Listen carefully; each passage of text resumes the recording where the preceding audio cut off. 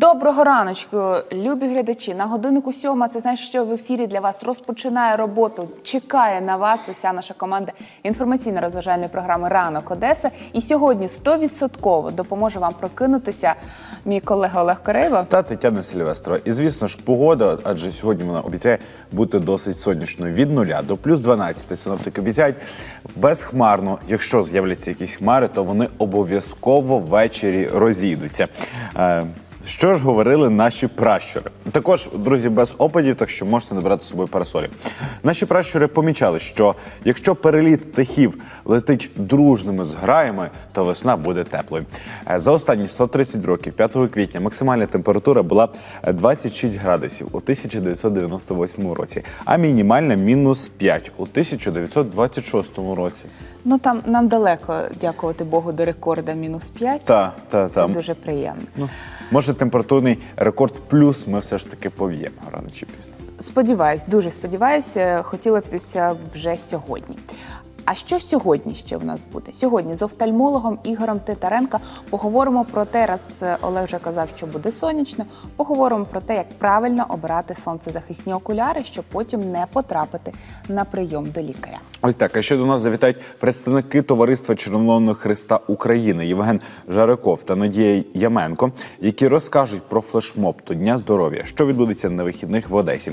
Детальніше про програму заходу дізнаєтеся вже з перших уст. Також до нашої студії е, також у нашій студії з'явиться директорка Альянс Франсез Діана Бангура та асистентка Альянс Франсез Софія Юхимова, які поділяться усіма секретами фестивалю Французька весна в Одесі. Тож будемо, е, напевно, вже весна така буде французькою, все пахнути буде так, знаєш, як порошок французька весна, чи ні? Е, Просто, ну.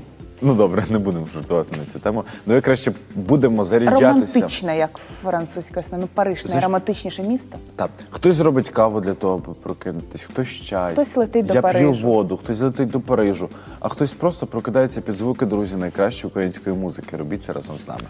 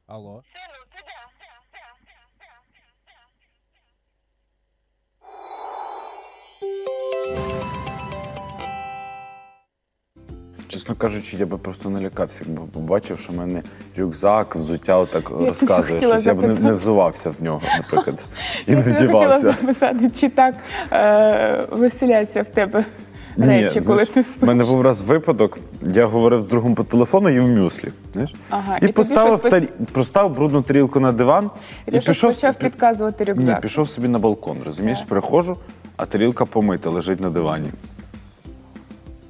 Я думаю, типу, добі, це ти, знаєш? Або якийсь там домови, домовичок, знаєш. Ну, виявилося, що це я, поки коли говорю, я не роз, ну, не помітив, що я помив її поставив. Знаєш, є Я ж перелякався. Є такий жарт, що не дуже страшно чхунути в порожній квартирі, страшно почути будь здоровий. Будь здоровий. Отже, будемо продовжувати. Сьогодні поговоримо про цікавинки з історії Олімпійських ігор. Олімпійський прапор, створений П'єром де Кубертеном в 1914 році, містить п'ять взаємопов'язаних кілець на білому тлі. Вони символізують п'ять значущих континентів і пов'язані між собою, щоб продемонструвати дружбу, яка є на цих міжнародних змаганнях. Кільця зліва направо м, синій, жовтий, чорний, зелений і червоний. Кольори були вибрані тому, що хоча б один з них з'являвся на прапорі кожної країни. Серйозно? Так.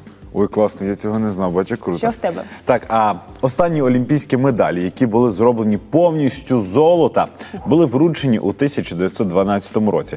Кожна медаль має мати товщину не менше. Товщину Так. не менше, ніж 3 мм та діаметром 60 мм. 3 і 60, розумієш, там?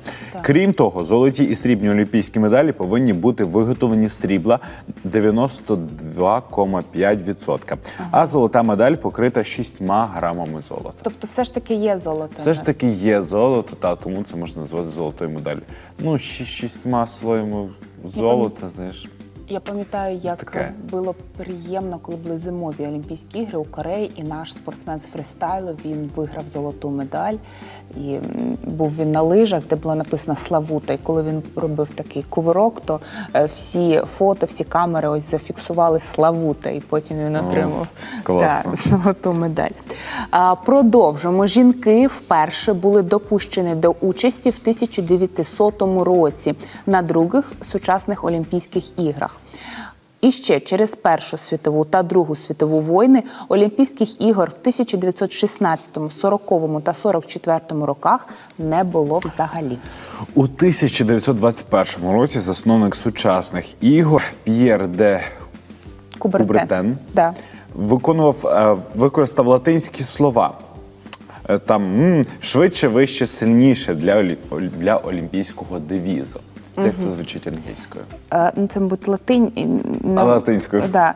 Е, Мабуть, Citius, Altius, Fortius. О, Ну, мабуть, так. швидше, вище, скоріше. Так, хто ем, досконало знає латинську, то, будь ласка, вибачте, якщо я з якоюсь ем, якось неправильно Неправильним вимовила. акцентом. Так, Може так. бути. Ну що, Тань, будемо з тобою готуватися до Олімпійських ігор. Швидше, вище, Яку сильніше. категорію Олімпійських ігор? Я вибираю, ем, я вибираю руханку Ні, е, що ж де на яких Олімпійських ігор. Ну ем, мені завжди подобалися е, танці, тому, мабуть, е, чи фігурне катання. Ну, спортивні. фігурне катання. Е, так, фігурне катання, мабуть. Я б напевно плавання. Знаєш? Плавання. Парне фігурне катання. Ко- м.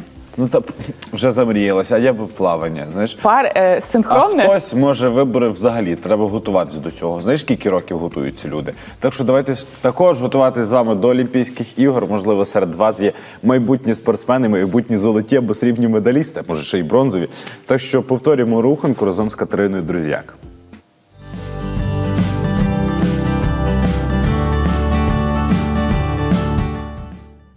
Доброго ранку! З вами знову Катерина Друзяк, і ми розпочинаємо ранкову гімнастику. Розпочнемо з того, що ми зробимо подих, руки догори, донизу. Подих і донизу спускаємось. Знову подих. Повними грудьми. Подих. Добре. Розгортаємось. Будемо робити стрибки. Один. Десять стрибків. Два. Три. Чотири. П'ять. Шість. Сім. Вісім. Дев'ять. 10. Хто не може робити стрибки, опирається на якийсь стілець та робить зрозумілий вправи, сідає донизу, догори 10 разів. Один, два, три, чотири, п'ять, шість, сім, вісім, дев'ять, десять. Добре. Подих. Зробимо гімнастику для м'язів грудей. Розпочнемо. Спочатку обертаємо руки. Один. Подих. Два.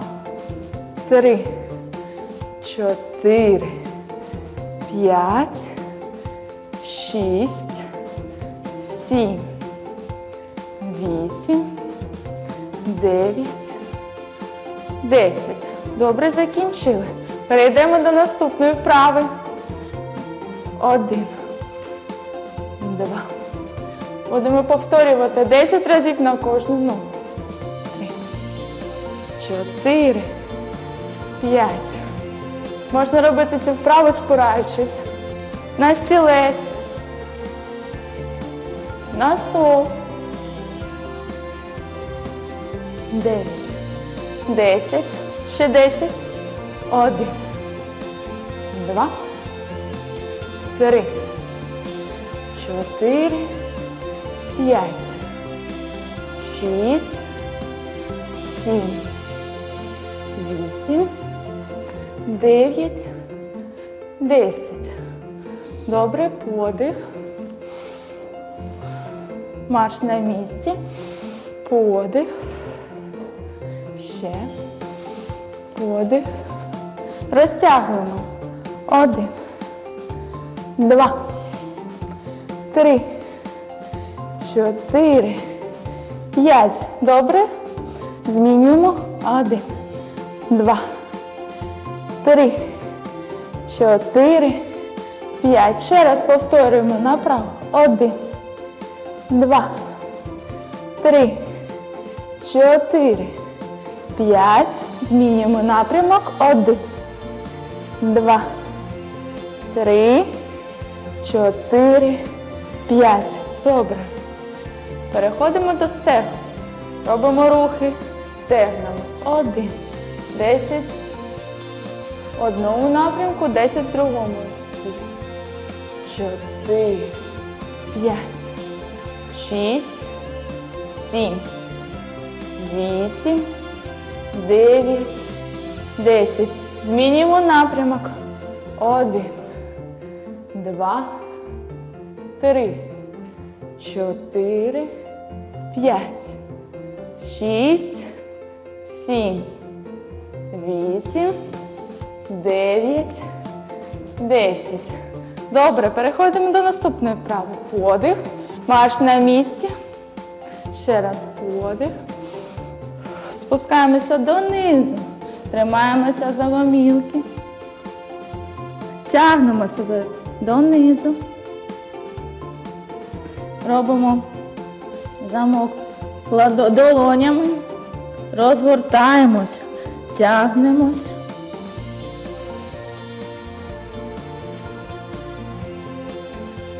Відпускаємо долоні, розгортаємося догори, витягуємось, подих, донизу.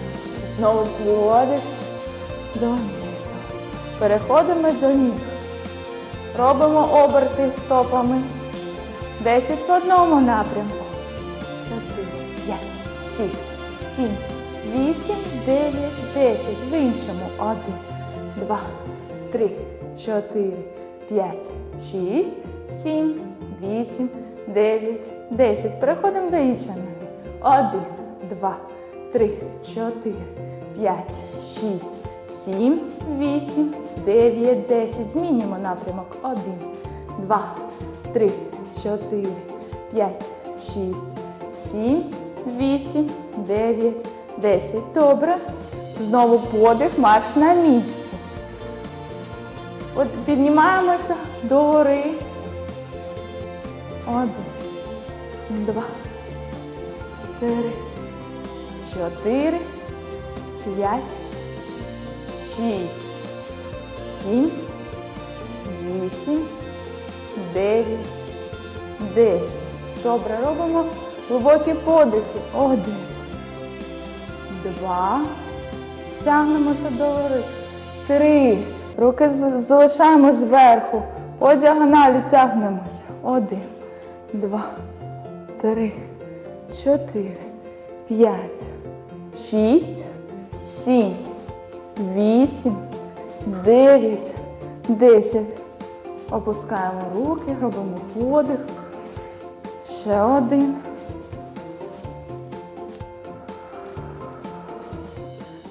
На цьому все. Бажаємо вам гарного дня!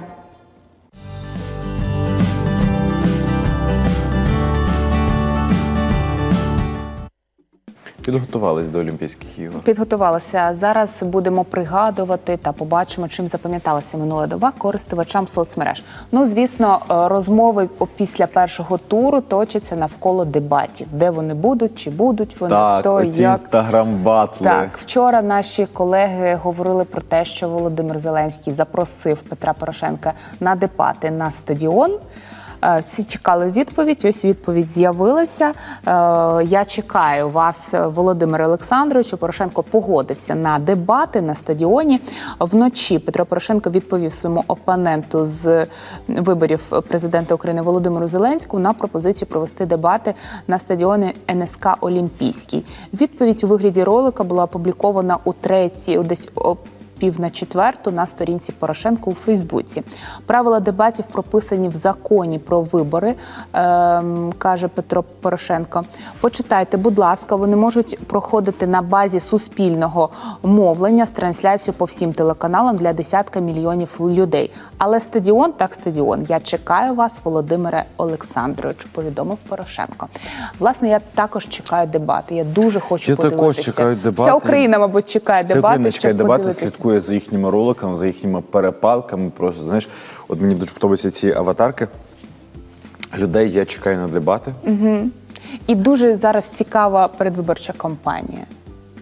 Якщо порівняти з іншими, вона якась така Ах, воно все таки загострюється. Знаєш, Да. і мені здається, що політика перетворюється вже на просто якесь шоу. Ну, політика Ми- це завжди щось таке. Це завжди щось таке шоу. А, добре, будемо продовжувати шоу. Все ж таки, Світлова Карчук, як ви знаєте, був на додатковому концерті в Одесі. Симфонічним оркестром. Так. симфонічним оркестром. Ось. Е, Несподівано він звернувся під час концерту до батьків військовополонених моряків, е, захоплених в Керченській протоці, десант, десантниками Російської Федерації. Те, що недавно сталося з українськими моряками в Керченській протоці, це абсолютно цинічно, це агресивний приклад поведінки. Ми, українці, пережили, пережили, е, переживаємо все, що їх взяли в полон в Російській Федерації, але найголовніше, як наші моряки поводяться зараз, дивлячись на них кожного, перехоплює почуття гордості.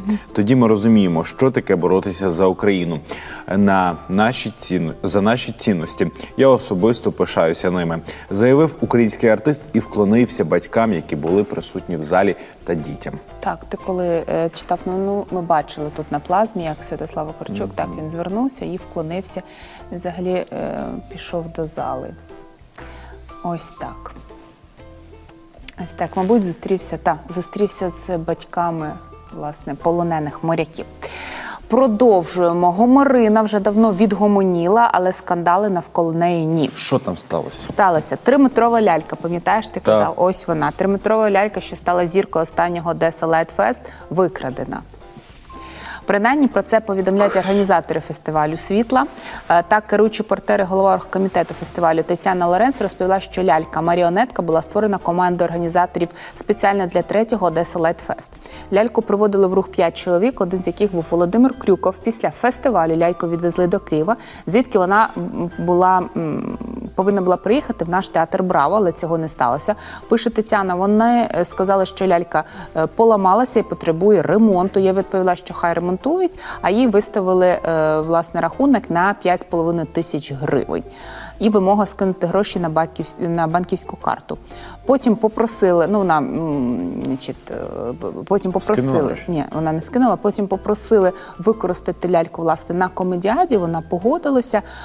Через кілька місяців попросила повернути ляльку для зйомок е, тизера нового фестивалю світла, а їй не повернули. Ось е, вона зв'язалася з організатором. Вони сказали, що це ось е, про цього казали ми. Людину Володимира Крюкова він заявив, що ляльки в нього немає, і що Тетяна вона власне шохрайка і не розрахувалася з командою за ремонт. За версією Володимира, лялька, яка бере участь в проєкті Ель Мукла, є авторським виробом і ніякого відношення до фестивалю світла немає. Ту ляльку вони відремонтували, але вона не заплатила. Вона досі лежить в Києві. Ну вони кажуть, що вони просто переплутали, що це зовсім інша лялька, ту, яку вони повинні були відремонтувати, Одеса Light Fest, то вона відремонтована, але за неї не заплатили гроші, тому вона в Києві. А ця нова. Ось такий. Мгм. Тобто, чи кажуть, розказують, унікальна лялька, але Да. вона і в Києві, і в Одесі. Знаєш, Ну ось так. просто клас. Де там ноги у тої ляльки, не зрозуміло. І чия Я вона. також. Так. Так, що там наша ситуація з буксиром? Що там, Знаєш, Олеже? пишуть? ну що? Зараз я десь, Залишається він, можна ще я десь упустив. Я не знаю, бо бач, я не встиг сфотатись, як ти Ти як- кажеш. Аварійно-рятувальна служба Одеського морського порту припус... приступила до робіт зі зняття за мілини буксиру дякувати. паралель, який приблизно прибило штормами до пляжу Дільфін 19 листопада минулого року, наскільки ми пам'ятаємо. Роботи почалися ще в середу. Представники порту повідомили, в корпусі буксир була виявлена величезна 50-сантиметрова пробоїна. Ох. Вчора з неї. Е, Вчора з нею зовні були працювали водолази. Сьогодні рятувальники заклали залатали діру вже зсередини в машинному відділенні. Одночасно потужна помпа відкачує судна воду. Угу. Значить, за словами ремонтників, її там більше 20 тонн. Отак. Після того, як буде відкачана вода з Чорноморського а, порту, викличуть кран Богатир, який підніме паралель і перенесе його через хвилеріз, після чого а, буксир підтягнуть до а, побратима в Чорноморську. Ой, фу. Ну, дякувати Богу, що він вже зникне і, власне, до курортного Але як, сезону. як може бути пробоїна? 50 сантиметрів і латати ззовні, зсередини 20 тонн відкачувати. Розумієш, ще якийсь буксир приїде відкачувати, напевно, то І все це коштує грошей. Потім ще буксир відтягне, потім хвилеріз її затягне. Це Ну, повно за- грошей, повно роботи. Зато паливо не буде у воді. Та могли просто залатати, знаєш, ту ді- ді- діру, Так, а- залишити там для, А для якщо паливо е, все одно буде витікати? Витягнути звідти все паливо, воду витягнути, залатати, поставити на Даже пляжі це- дельфін. Пляж стане Це дуже важко. ви- Туди будуть ходити люди, фотографуватися. Там буде більше відвідувачів, Тані, і пляж буде розцвітати. Олеже, дуже важко відкачати паливо. Це дуже важко. Воно паливо для А чого судна, оце- воно інше. Воно не- це не бензин, це не таке. От в мене є це на- важке паливо. У мене є наступна о, наступна ця новина, я типу, ну, пізніше Ну, добре, розкажу.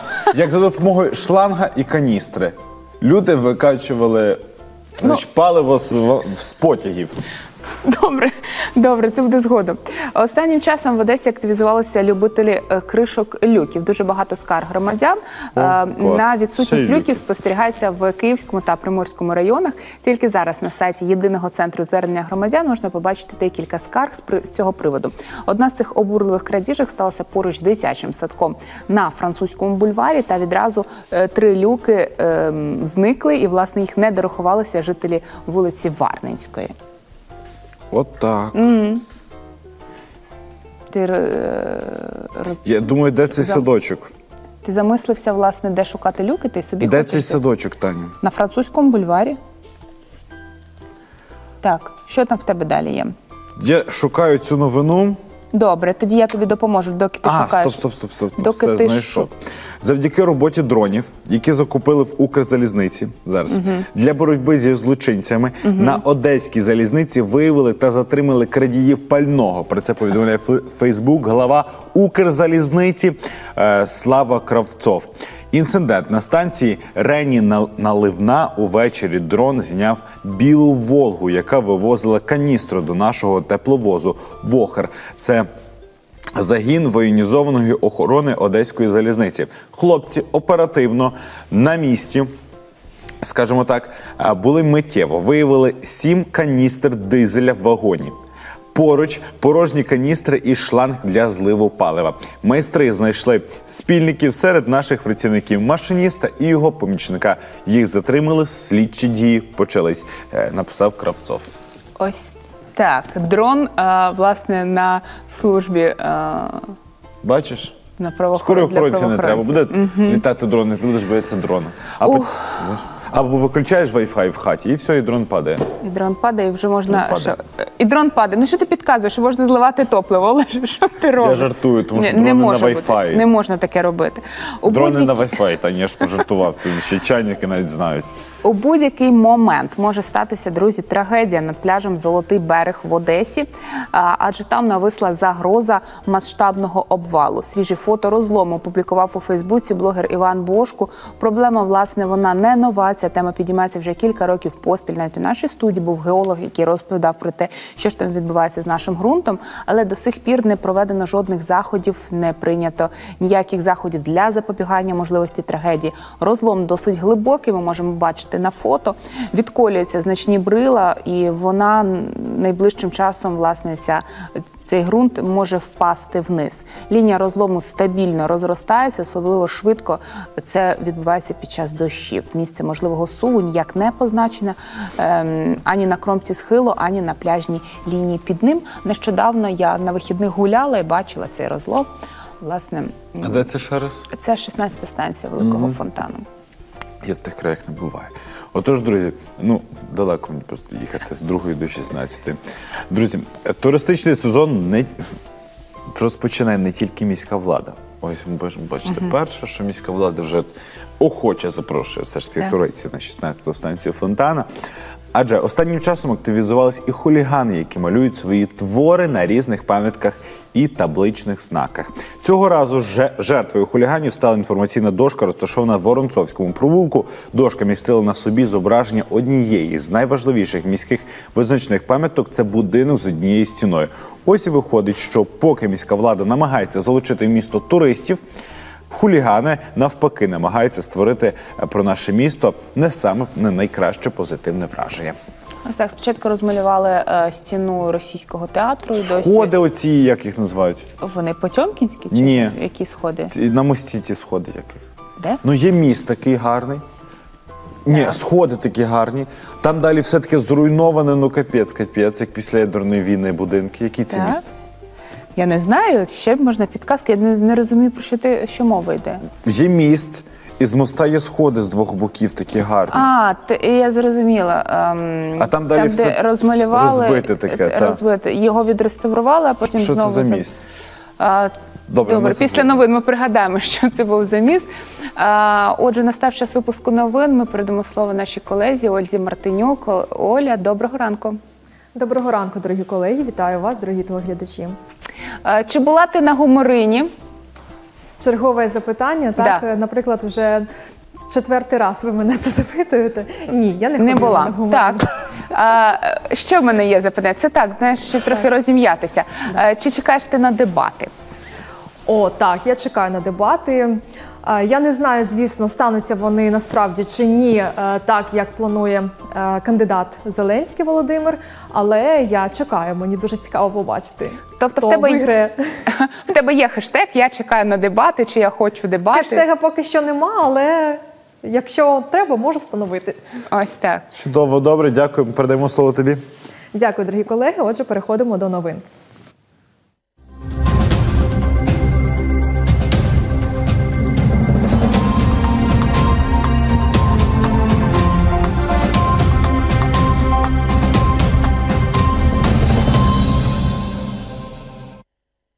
Вітаю в студії Ольга Мартинюк. В ефірі новини ЮА Одеса. Сьогодні о 12 годині у Київському районному суді пройде чергове засідання у справі розслідування пожежі в дитячому таборі Вікторія. Нагадаємо, на засіданні 29 березня одним зі свідків виступила колишня вихователька дітей у таборі Ганна Чернова. В залі суду жінка розповіла про те, що її перед початком зміни примусово виселили з кімнати, де вона повинна була проживати. Пояснили це тим, що там буде перебувати керівник дитячого танцювального колективу Адель Тетяна Єгорова. Посередньо вам давав вказівку, щоб ви не про- не проживали в цьому будинку, а проживали в іншому будинку. Бо в цьому будинку повинна проживати Єгорова. Под давлением родителей, руководства, э, КРНО, э, департамента образования меня выселили с, четвер- с пятого корпуса четвертой комнаты. Я должна была проживать с детьми. Объяснили это тем, что э, проживание Егорова Татьяны Олеговны это есть обязательным для заселения детей. Наші кореспонденти будуть присутні сьогодні на заході. Детальніше дивіться у наступних випусках. Сьогодні учні випускних класів загальноосвітньої школи номер 107 міста Одеси висадять на її території 109 дерев. Про це повідомили військові з оперативного командування Південь. Так, старшокласники планують вшанувати пам'ять бійці- бійців загиблих на сході України. До акції приєднаються батьки учнів, а також ветерани бойових дій на Донбасі. Організатори пояснили, чому планують висадити саме таку кількість дерев. На сьогоднішній день 109 бійців з Одещини загинуло на сході України, захищаючи суверенітет та територіальну цілісність держави. Серед них є і випускник 106-ї школи Микола Руденко. Він був розвідником 59-ї окремої мотопіхотної бригади. Загинув неподалік села Павлопіль, що на Донеччині. Наші журналісти відвідують даний захід. Детальніше про акцію з висадки дерев ви дізнаєтесь з наступних випусків новин.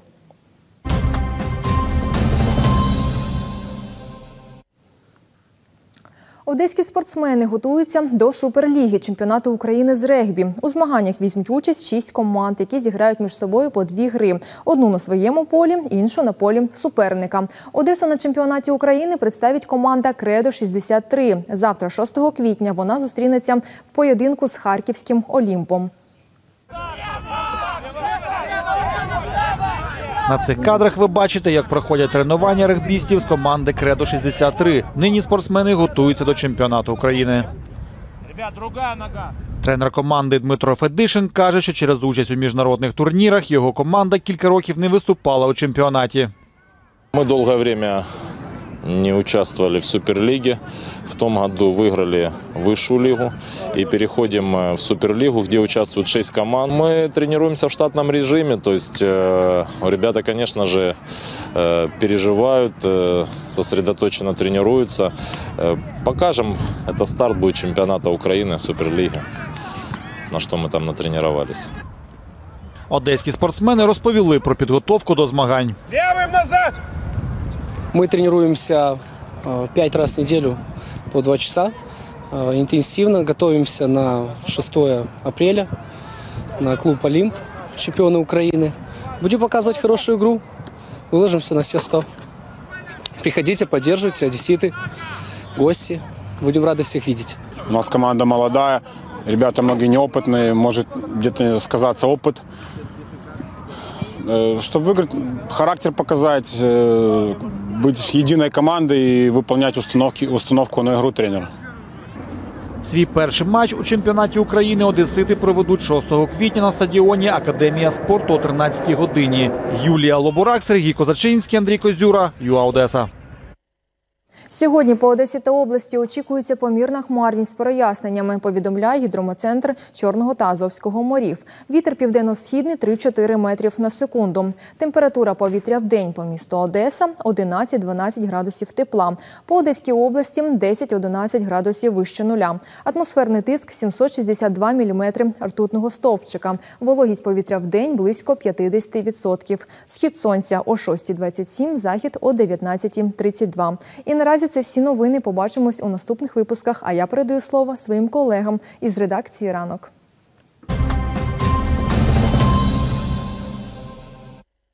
От бач, Таня, 29 березня ще було схід сонця о 5.26. Так. Бач, як швидко погода міняється, майже на годину. Як настрій? Як настрій? Будемо продовжувати. Е, Збережи мене. Одеський художник закликав захистити історію Одеси. Е, Власне, мова про художника Кирила Бондаренко, е, який вирішив захистити історичні лавові плити з Неаполя, які знімають ем, робочі через реконструкцію на вулиці Софійській. Прямо на тротуарі він влаштував перформанс. Ми можемо бачити власне ось ось тут. На фото ем, перформанс, як і зазначив Кирило, він підтримує думку багатьох одеситів в тому, що старовинні лавові плити з Італії пропадуть, так і не дочекавшись фіналу реконструкції. На деяких плитах художник написав благання про допомогу від імені коштовного каміння. Збережи мене, я одеська спадщина, і дуже символічно обіграв це в своєму перформансі. Зникнення плит, зобразивши на одній з них людське обличчя, а замість очей поклав монети. Так символічно з нею прощалися. Монети потрібні для переходу в інший світ, зазначив страшно. художник. У свою чергу начальник управління з питань охорони об'єктів культурної спадщини Павло Остапенко наголосив, що вся бруківка та плити збережуться. Мгм, Але наскільки я знаю, варто було піти художнику, як плити тут же демонтували. Вже То так. Так, і що ж, і далі також будемо про збереження спадщини у національному природному парку Тузлівський лиман оголосили е, сезон тиші. З метою захисту і популяризації тварин у період увага з 1 квітня по 15 червня е, забороняється проводити роботи і заходи в природному середовищі. Обмеження забороняє, е, значить, що ж воно забороняє? По- е, Поклика... Воно покликане для збереження спокійного стану, скажімо так, тваринного світу в Татарбунарському районі, так і в українському Причорномор'ї. Йдеться в джерело, щоб підвищеного шуму не було, такого занепокоєння, щоб все було спокійно. Серед них в листі е, в листівці нацпарку відзначають е, е, стрілянину, проведення вибухових робіт, фейерверки, Це все, що не можна. та те, що не можна, санітарні вибу- вирубка лісу, а, значить, використання моторних мало, маломобільних суден. Проведення ралі та інших змагань та транспортно-транспортних засобів. Також адміністрація застерігає від е, паління рослин і листя за порушення сезонної тиші. На винуватця буде накладено адміністративний штраф від 30 до 50, а у посадових осіб від 50 до 70 неоподаткованих мінімум доходів громадян. Ось так. Ну, власне, нещодавно вертоліт пролітав, і щось він там спугнув птахів, які е, та капець. Іван Русів дуже там був е, і засмучений, і такий, знаєш, е, м, з- збуджений, злий трохи, тому що зігнали птахів, а вони власне зараз гніздуються, і це дуже, дуже так погано впливає власне на різноманіття тузлівських лиманів. Волонтери проекту Тисячі дверей Одеси створили онлайн-карту, на якій відзначені 48 старовинних дверей і воріт, які перебувають в центрі міста. Про це повідомили волонтери на своїй сторінці у Фейсбуці. Активісти хочуть зробити каталог тисячі старовинних дверей Одеси, які пізніше будуть реставрувати. У його створенні беруть участь всі бажаючі одесити, які публікують на сторінці проекту фотографії дверей і воріт, створених до 1900 року. Поки в інтерактивному цифровому каталозі тільки 48 адрес, але волонтери збираються його доповнювати. Допомогти може кожний охочий. Для цього потрібно приєднатися до проекту в соціальних мережах і стежити за новинами, а також надіслати фотографії інших дверей і воріт, які потребують реставрації. Але ж хочу долучитися, будеш гуляти, фотографуй, викладай. От ці красиві двері, до речі. Так би і поставив собі вдома. Так, серйозно. У суботу в Одесі відбудеться міжнародний міжнародне велоралі 100 кілометрів з поясу слави за 10 годин. Воно проводиться щороку, приурочене до ювілею визволення нашого міста від німецько-фашистських загарбників і більш відоме як Одеська волосотка. У цьому році, у цьому ро, рочі, рочі, в цьому році, році участь для учасників е, Гуансі вже зареєструвались понад дві тисячі осіб. Як велосипедисти, так і ті, хто будуть долати дистанцію на своїх двох. Тобто є щось там сімейні. Ми до нас Да, гості. говорили. Супроводжувати учасників по дистанції будуть правоохоронці, а також швидка допомога. Гонка стартує на алеї Слави о 10-й годині ранку в суботу, а завершиться на території комплексу 411 батарея. І ще у нас одна новина. В неділю в Одесі пройде екологічний маршрут, завдяки якому сортувальні відходи одесити е, ну, частину сміття можуть здати на переробку. Повідомляють організатори маршруту місто майбутнього. Адже пластик на звалищі розкладається століттями, забруднюючи ґрунт, воду і повітря. Приймаємо відсортований пластик. ПЕТ і HDPE, макулатуру, картон, папір, газети, алюмінієві банки, скло, пакети, плівка. Увага, що говорять організатори. Приносите сировину вже розсортовану.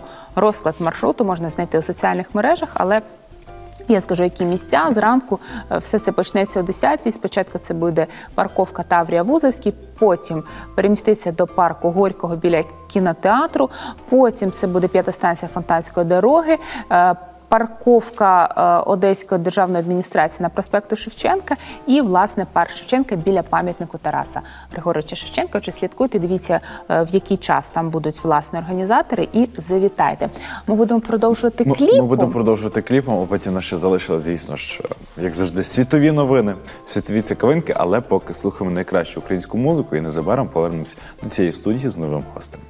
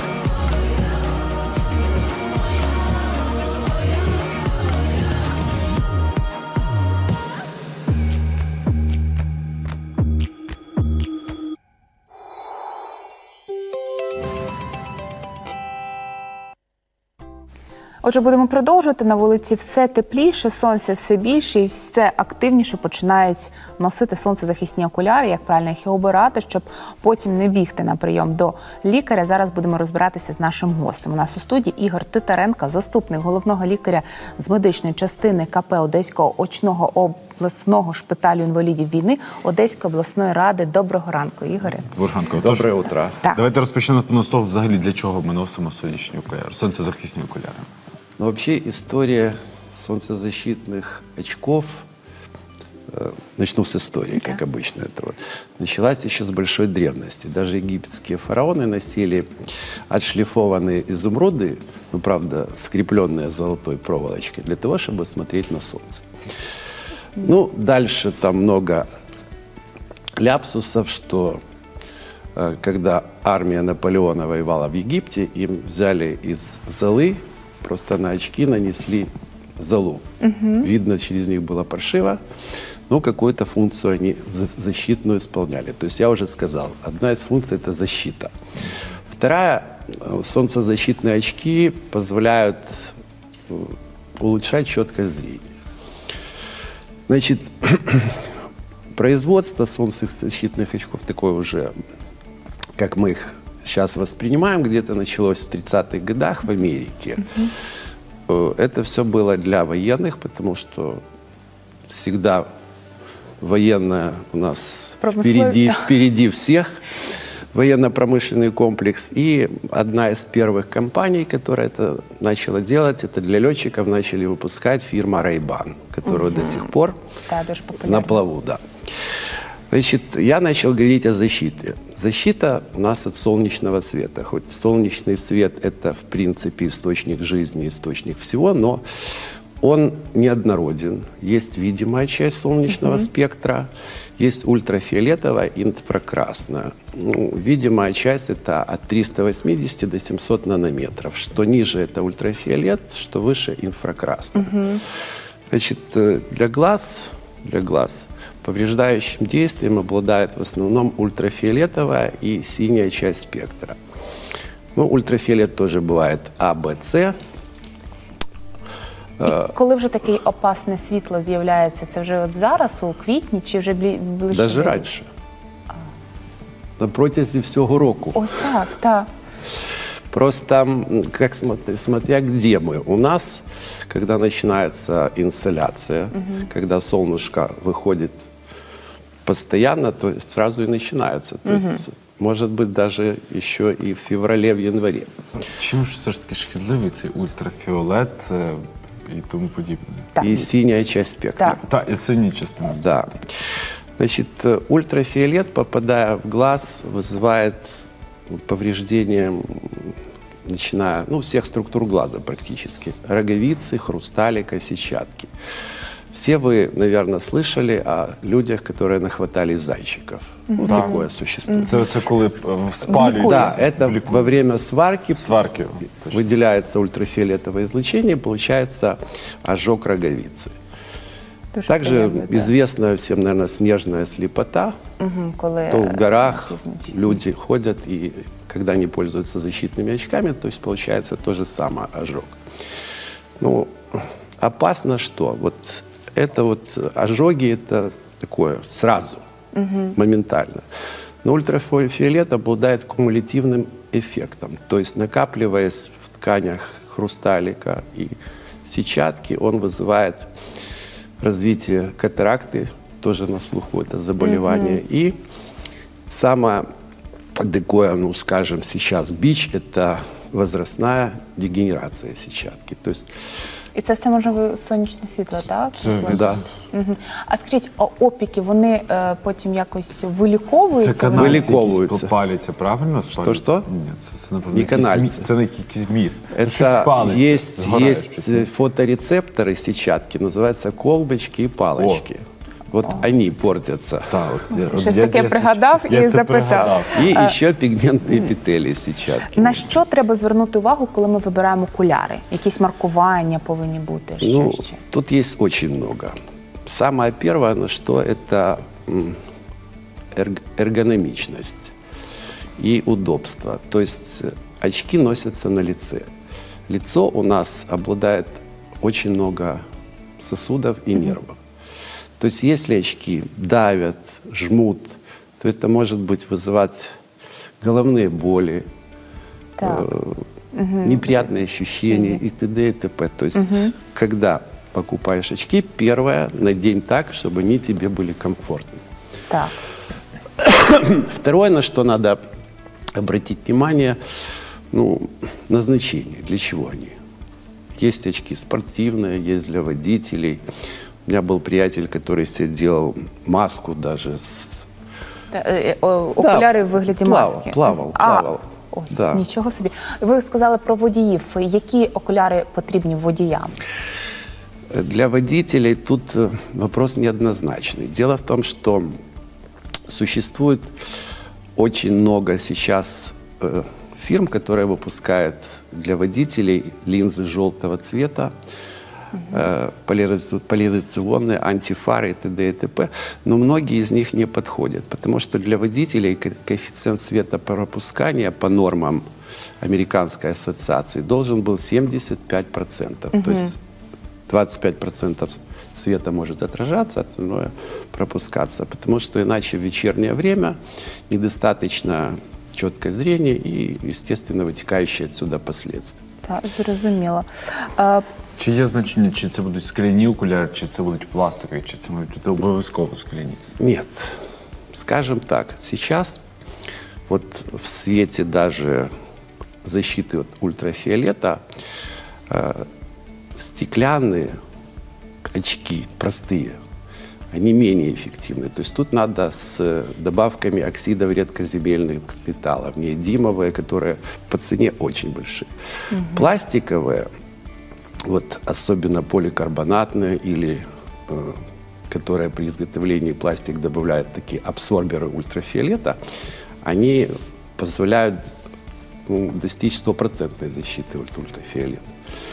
Хотя, ну, скажем так, что вот это вот все надо проверять, потому что производители иногда пишут, что стопроцентно, ну, А як же перевірити, куди з тими Значит, окулярами есть в приличных оптиках есть тестеры, и э, тестеры позволяют определить. И есть спектрофотометры, это более точные, которые а, могут определить на- наличие ультрафиолетовой защиты и ее степень.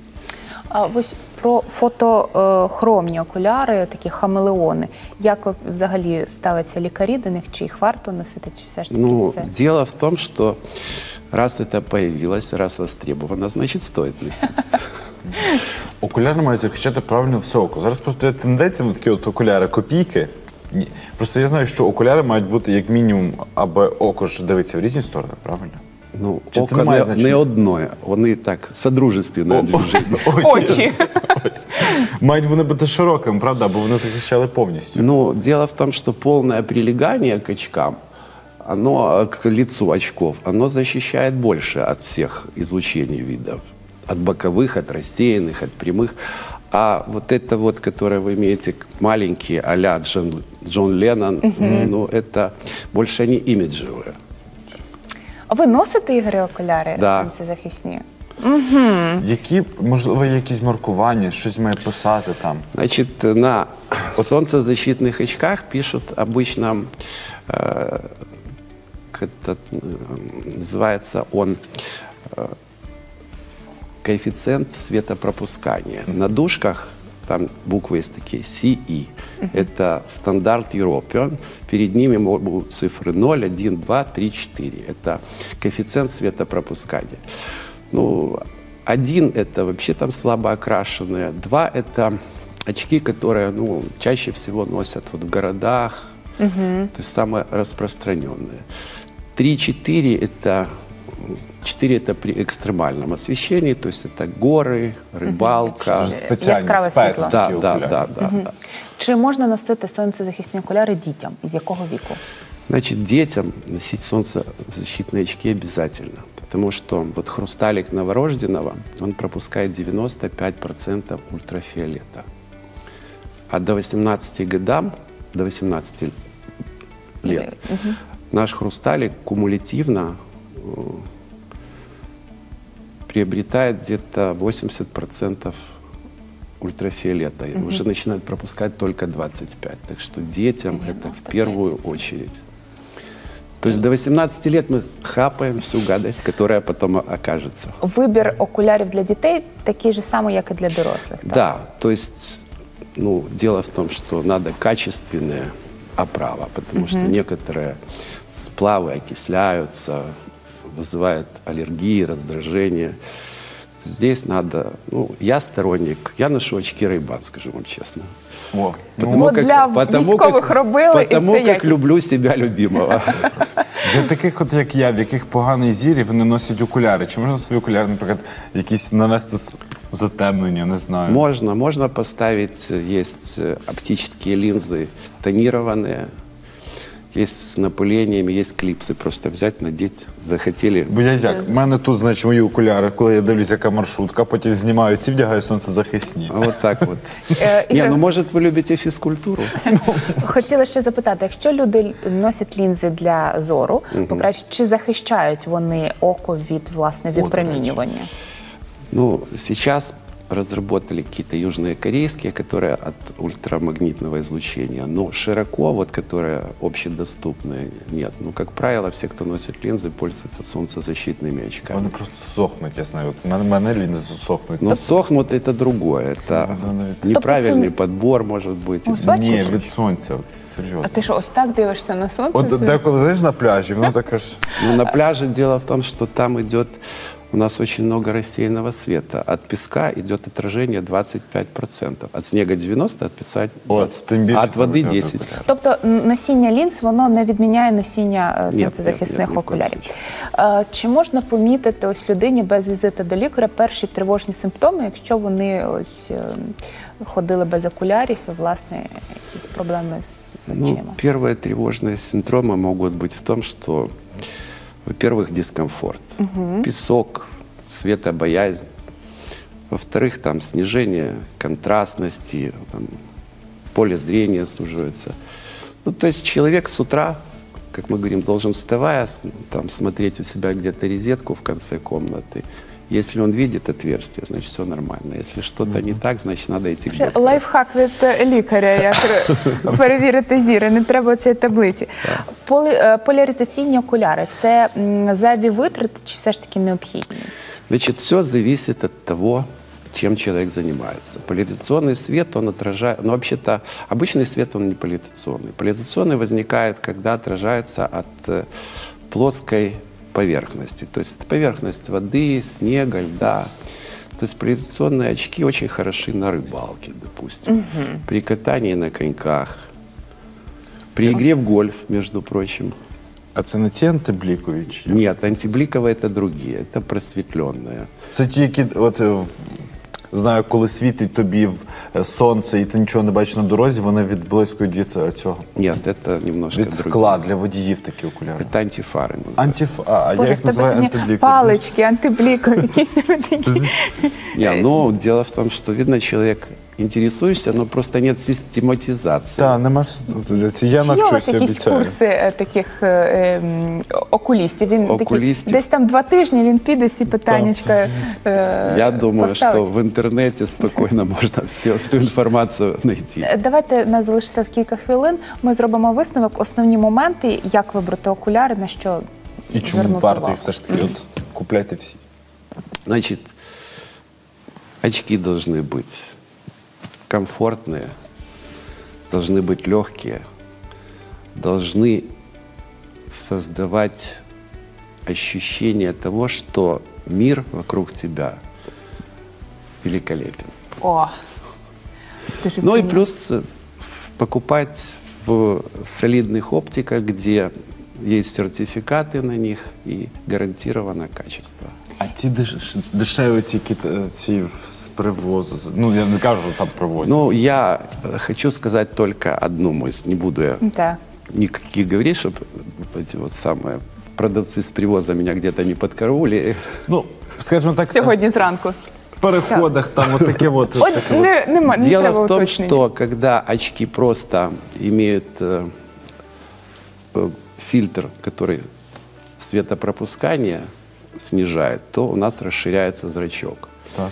Если нет достаточной ультрафиолетовой и защиты от синего спектра, то больше получается в глаз вот этого излучения. То То на есть ще гірше, ніж е, те, Вот, що ви будете щоб робити не без- носить. без окулярів. лучше не носить, чем носить некачественные. О. І можна починати носити окуляри, власне, навіть взимку, коли ось Конечно, у нас конечно. на півдні, Конечно. чи не тільки на півдні. Как только солнышко вышло уже, Дякую. Сьогодні говорили про те, як правильно обрати сонцезахисні окуляри. Занотовуйте на що буде на Фейсбуці е, окремо інтерв'ю. Можна хто не встиг запам'ятати ще раз передивитися. Сьогодні говорили з Ігорем Титаренко, заступником головного лікаря з медичної частини КП Одеського очного обласного шпиталю інвалідів війни Одеської обласної ради. Дякую, що завітали, і щоб світ навколо вас був приємним. Е, і у наших глядачів так Різнокольоровим. різнокольорам. А Дякую. чтобы у вас были здоровые глазки. Точно, Так. Вы дякуємо. встречались только в студії. О, оце гарне побажання. Що ж, друзі, ми говоримо, висновки робите ви, а зараз переходимо до новин.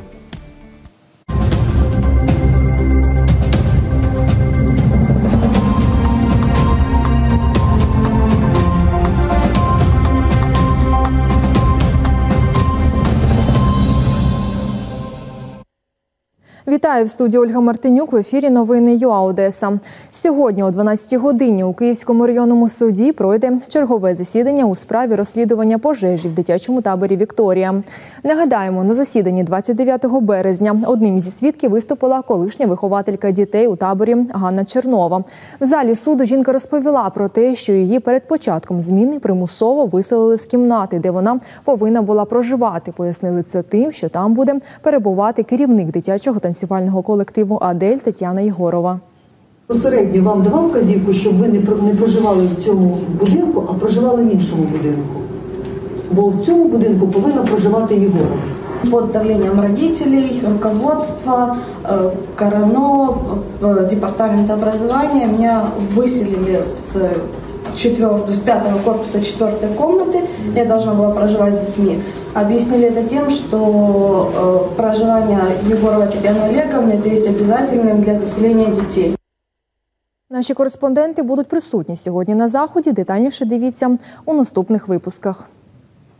Сьогодні учні випускних класів загальноосвітньої школи номер 107 міста Одеси висадять на її території 109 дерев. Про це повідомили військові з оперативного командування Південь. Так, старшокласники планують вшанувати пам'ять бійці- бійців загиблих на сході України. До акції приєднаються батьки учнів, а також ветерани бойових дій на Донбасі. Організатори пояснили, чому планують висадити саме таку кількість дерев.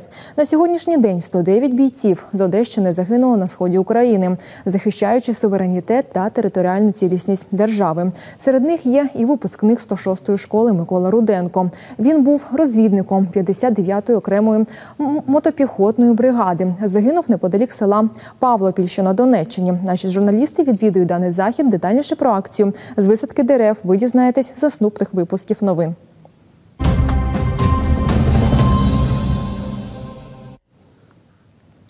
Одеські спортсмени готуються до суперліги чемпіонату України з регбі. У змаганнях візьмуть участь шість команд, які зіграють між собою по дві гри: одну на своєму полі, іншу на полі суперника. Одесу на чемпіонаті України представить команда Кредо 63 Завтра, 6 квітня, вона зустрінеться в поєдинку з харківським Олімпом. На цих кадрах ви бачите, як проходять тренування регбістів з команди Кредо 63 Нині спортсмени готуються до чемпіонату України. Тренер команди Дмитро Федишин каже, що через участь у міжнародних турнірах його команда кілька років не виступала у чемпіонаті. Ми довге время не участвовали в Суперлиге. В том году выиграли высшую лигу и переходим э, в Суперлигу, где участвуют 6 команд. Мы тренируемся в штатном режиме, то есть э, ребята, конечно же, э, переживают, э, сосредоточенно тренируются. Э, покажем, это старт будет чемпионата Украины, Суперлиги, на что мы там натренировались. Одеські спортсмени розповіли про підготовку до змагань. Левым назад!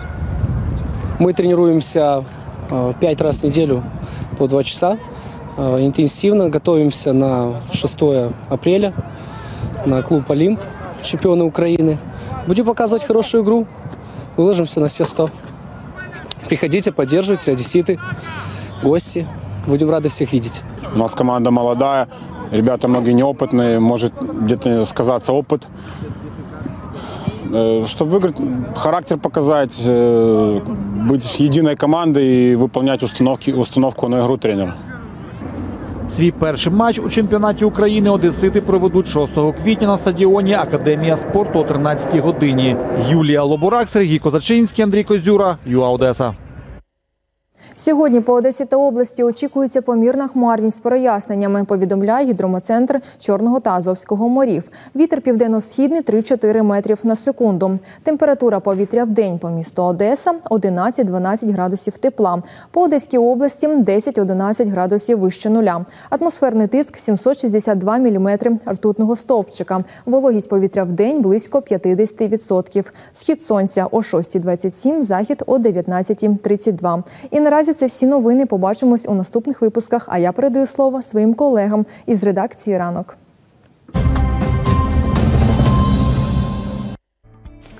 Дякуємо, Олю. Дякуємо. А ми як що ти так? Дякуємо. Дякуємо, Оля. Як... Дякуємо, Оля. Як ми дякуємо. Ось як ми обіцяли, ми переходимо до світових новин. Щось цікавенького там відбулося.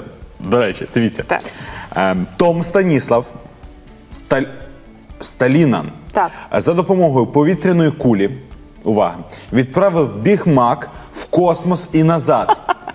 Бутерброд досягнув висоти 24 милі, а це приблизно 39 кілометрів. Перше ніж повітряна куля луснула. Мета експерименту британці дізнатися, як бургер змінить от, е, свій, свої смакові властивості, побувавши в космосі. Після дегустації бургера ентузіаст залишився не дуже задоволеним результатом. Тобто не наповнився він якимись смачними ароматами Уявляєш, космоса. Бік Мак відправився три- три- 39 кілометрів вгору, спустився і його скуштувати. Він ж буде холодним. Можливо, він просто був не такий смачний спочатку. Він же Але його не ідея куштував. відправити бігмах в космос, розумієш? А потім його з'їсти. Ну, можливо, у людини багато вільного часу і фантазія. Може бути. А, Китайський майстер перетворює стрижки в справжні шедеври. Ален Чен працює в одному з салонів в тайванському місті Джанхуа. Молода ну, молодий чоловік справив фурор в китайському інтернеті. До речі, оце все з волосся. Бачиш, Олеже, оце все з волосся. Ем, е, вла- фурор. Е, Після публікації е, фотографій, відео своїх приголомшливих робіт. Крім ідеальних стрижок, майстер створює диво реалістичні картини зі зрізаного волосся клієнтів прямо на підлозі салону. Ось ми можемо бачити. М, Пости вмілого перукаря е, переглянули мільйони людей і, дивлячись на ці шедеври, розумієш, чому вони так подобаються людям. Ну, бачиш, вже це як розумію, король Лев був е, на, на підлозі. З волоссям. Ну а чого поганого? Дивись, якийсь е, герой. Ну, Таке ніби не з голови. Так. Ну що таке? Ну о, е, зачіски, які він робить. Ага, дуже, Снупі. дуже милі. Так. Ось Це не смурфік. Снупі. Снупі. Це так, Добре, собачка будемо Снупі. продовжувати. Простір Ютуб не з- дивує, як завжди, не дивує. Скажімо так, не дивними трендами, але це набирає багато переглядів, наприклад, як пиття води.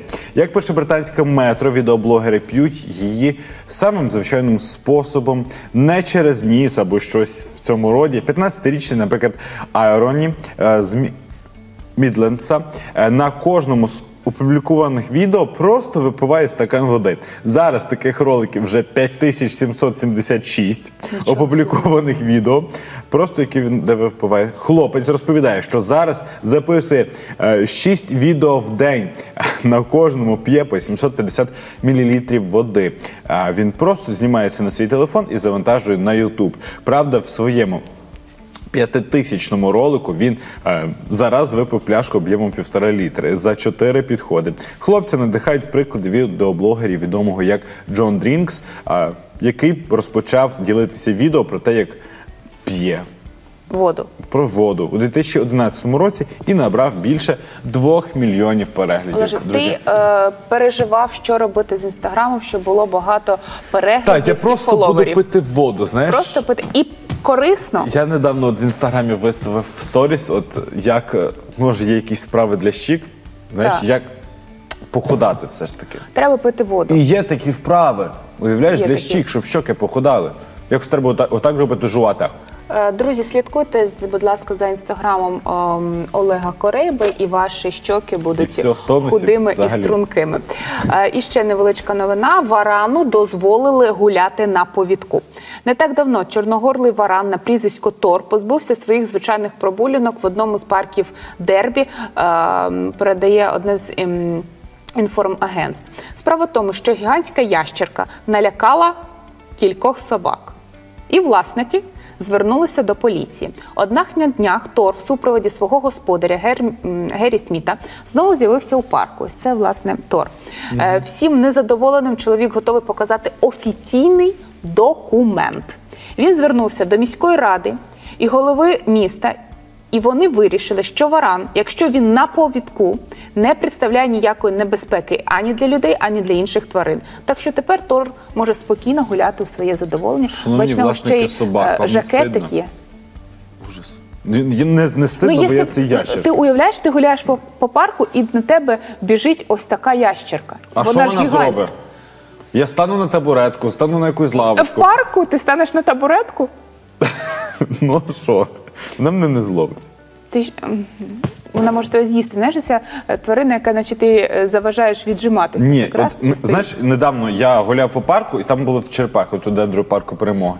І я кажу, мені мама сказала, що мені вона черепашку не купить в дитинстві, тому що черепашка може відгризти палець. Уявляєш? Так, і, і тільки ти- недавно, коли я знімав дендропарк перемоги, Так. Біолог мені сказав, що черепашки тільки взагалі червоні чи ці дикі відгризають пальці. І це взагалі неможливо майже. І ти зрозумів, як мама що мама тебе... мене дурила все життя.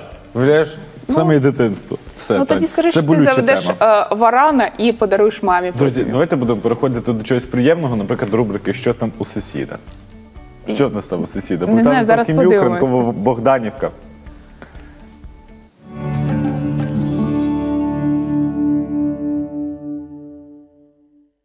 Привіт! От що не кажіть, а весна це саме той час, коли можна і треба усе садити. Тому не гаймо часу і берімося до роботи. Тим більше, що до нас уже приїхала обіцяна Хмельниччиною ремонтатна малина, і тепер часточка батьківщини Настусі Захарчук буде у нас тут під вікнами.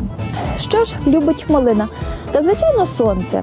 Але на жаль, ми садимо зазвичай її не там, де вона хоче, а там, де є можливість і місце.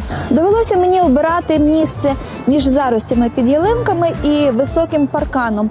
Ясна річ, обрала під паркання. А тепер думаю, як би то мені максимально зробити цю смужку землі комфортною для кущиків малини.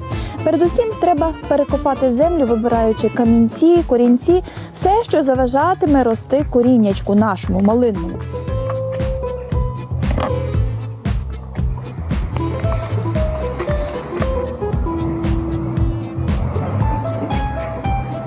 Опісля копаємо ямки і в них уже садитимемо кущики. В цьому садку земля дуже бідна, вона закисла для малини. Трохи поліпшити якість можна, е, внісши у посадкові ямки гні чи будь-яке інше добриво і негашене вапно або попіл. Що дає попіл і вапно? Вони трошки зменшують кислотність землі, а попіл ще й насичує калієм цю землю.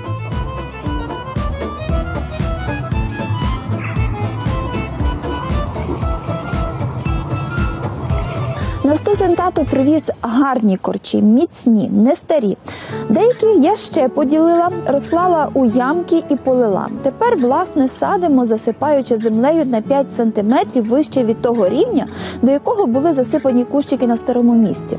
Чому так? Що це дає? Передусім, те місце, яке було під землею, вразливе, і якщо воно пересохне, рослинці буде непереливки. До речі, якщо кущики викопали учора, а садитимете аж завтра, то на ніч занурте їх у відро з водою. Це правило важливе для будь-яких кущів, дерев, плодових чи декоративних без різниці. Особливо це занурення потрібне для троянд, придбаних не в контейнерах, а з відкритою кореневою системою.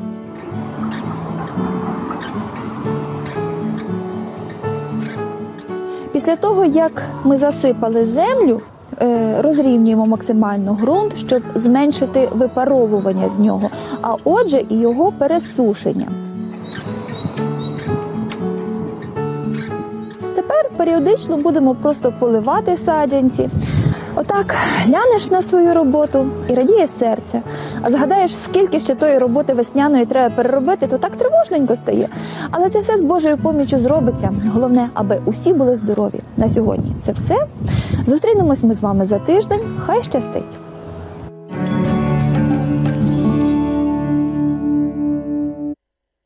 Бачиш, ранкова Богданівка вона вже весну таку. Весною. Будемо далі продовжувати весною французькою. 16-й фестиваль Французька весна в Одесі. Що можна буде побачити, спробувати почути відповіді наших гостей, наших гостей. У нас у студії Діана Бангура, директорка Альянс Францез. Доброго ранку. Bonjour.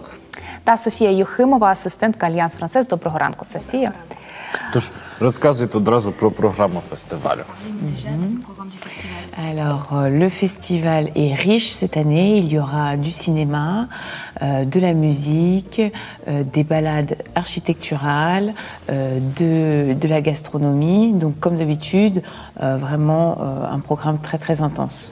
Е, Цього року програма Французької весни буде дуже різноманітною та наповненою. В нас будуть і кінопокази, і літературна зустріч, е, і архітектурні прогулянки. Це новинка нашого фестивалю цього року. Е, Також, звичайно, гастрономія та музика. Ой, давайте детальніше. Ось мені Про подобається. гастрономію. Я не сумнівалася. Plus sur la gastronomie. Mhm, effectivement, c'est un projet euh, de cuisine euh, avec une association aussi à Odessite, les Odessites Ensemble. On va préparer avec euh, d'autres personnalités, moi aussi, des plats français pour les enfants orphelins et euh, ils pourront déguster et apprendre surtout l'histoire de ces plats. Е, Тож е, проект гастрономії це проект, який організовано е, разом та за ініціативою громадської платформи Одесити разом. І цей проект включає в себе участь двох шеф-поварів французької кухні, найкращих в Одесі. Звичайно, там буде приймати участь пані Діана Бангура. А, також в ньому будуть, приймати участь діти-сироти ветеранів АТО, також учні Одеської кулінарної школи. І під час цього е, мастер-класу, який пройде у е, ресторані Бернардаци, е, діти зможуть навчитися, як готувати французькі страви, використовуючи локальну, продукти. Et bien sûr, les personnes peuvent s'inscrire pour voir ce processus. Euh, Le public euh, voilà, peut s'enregistrer. Звичайно, є можливість е, зареєструватися, е, щоб е, приймати участь у якості глядачів, спостерігачів, щоб Ти вже скуштувати хочеш. Ще не приготували, ти вже хочеш скуштувати. Діана, скажіть, будь ласка, ваша улюблена страва і що б ви, наприклад, порадите спробувати з французької кухні? Quel est votre plat préféré et qu'est-ce que vous pouvez conseiller Alors, ça dépend euh, de la période de l'année. J'aime beaucoup des plats à, place de- à base de fromage. Euh, J'adore, par exemple, l'hiver manger de la raclette. Mais là, c'est plus trop de saison. Е, Так, все дуже залежить від пори року. Е, Я, наприклад, ду- дуже о, я наприклад обожнюю е, страви з сиру. І є така страва, яка називається раклет. Е, і- Але це вже не, не той час, щоб куштувати ракет. Це більш зимова страва. А навесні що можна скуштувати? Qu'est-ce qu'on peut goûter en, en printemps Euh, en printemps, j'aime beaucoup euh, tout ce qui est salade, carpaccio, des choses comme ça. Е, А навесні мені подобаються салати та карпаччо. І нам подобається. Давайте детальніше тепер розкажіть про музику, про фільми, які будуть. Est-ce que vous parlez, vous parlez de musique Oui, à l- à l'ouverture, on aura le, le Pocas Trio, le groupe de jazz Odessite qui improvisera à la française. Et donc, on pourra reconnaître des éléments de Joe Dassin, euh, Michel Legrand ou encore Brel. На відкритті французької весни, яке відбудеться е, о 19.00 в Urban Music Hall 10 квітня, е, будуть виступати одеське джаз-тріо Покас Тріо. Мгм. І спеціально для французької весни Мгм. вони підготували е, ексклюзивну програму, яка називається імпровізація по-французьки. Джо Дассен, е, я Так, саме так. То можна буде, буде послухати варіації на твори Джо Дассена, Мішеля Леграна та Жака Блеза. А фільми? Про фільм. Pour la musique, je veux quand même souligner que le 20 et le 21 il y aura lieu l'ensemble alternance. C'est entre la musique classique et la musique moderne dans le cadre de deux, deux jours de, de nuit. Також хотілося б зазначити, що це на, цьому музикальна програма не завершується 20 та 21 квітня Мгм. у рамках фестивалю два дня та дві ночі сучасного сучасної музики будуть виступати ансамбль Альтернанс. Е, Це дивовижний французький ансамбль, який творить на межі сучасної та е, класичної французької музики. Що у нас е, з стрічками довгі, е, довгі ночі короткого французького метру? Oui. Які картини? Eh Що? oui.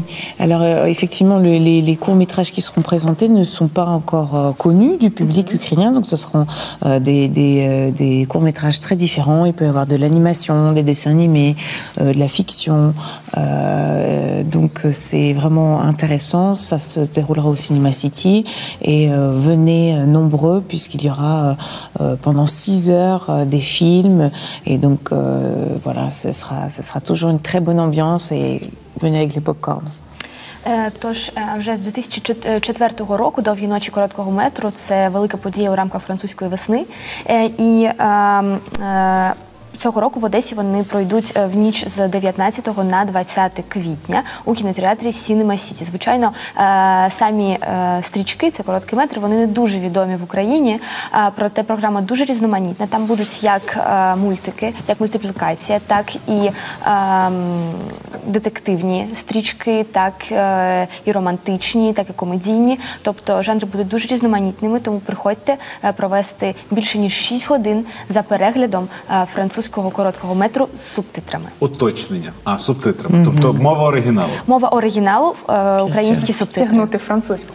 А, Діана, що ви скажете, французи який жанр полюбляють більше? Це детектив чи все ж таки романтика? Бо тільки про романтику і говорять Париж найромантичне місто. Donc bien sûr, l'amour euh, a une grande place dans le cinéma français, qu'il soit compliqué, qu'il soit, euh, qu'il soit du, on va dire, euh, beau, qu'il soit douloureux. Donc ça, ça prend vraiment effectivement une grande place dans le cinéma français. Звичайно, кохання займає дуже ва- важливе місце у французькому кінематографі, незважаючи на те, чи, чи це легкий роман, чи це е, дуже складна заплутана історія кохання, чи вона щаслива, чи вона нещасна. Але французьке кіно воно про кох- воно про Et кохання. j'aimerais parler juste de- d'une histoire aussi d'amour assez intéressante, c'est la- l'amour d'une mère envers son fils. Et c'est pour ça, je vous recommande d'aller voir le 18 avril au Cinéma City, le film La promesse de l'aube, qui est un film magnifique que j'ai déjà vu à Paris. Euh, et j'ai lu le livre et je le recommande vraiment à tous.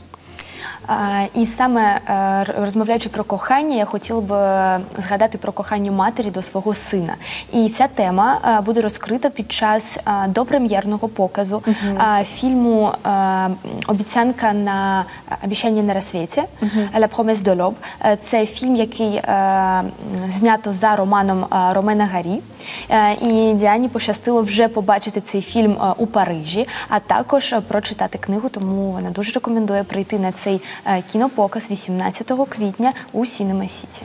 Розкажіть Так. ще про майстер-класи. Чи ще якісь майстер-класи будуть, окрім кулінарних? Est-ce que vous pouvez dire s'il y aura d'autres euh, ateliers Effectivement, vous pourrez euh, faire des bouquets de fleurs. Vous savez que les, en France, l'art de la table est très important.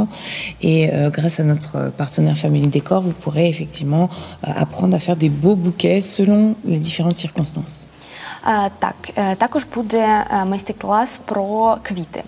Тому- фльор це квіти. Так, так, це квіти. гарне слово. Е, Від нашого е, одеського партнера е, м, бутіку Family Decor е, буде проведено майстер-клас, під час якого ви зможете навчитися, як складати букети, різноманітні букети до е, різних подій. Е, Тому що, звичайно, е, сервування столу та букети та при- прикрашання е, свого оточення для французів це дуже важлива тема.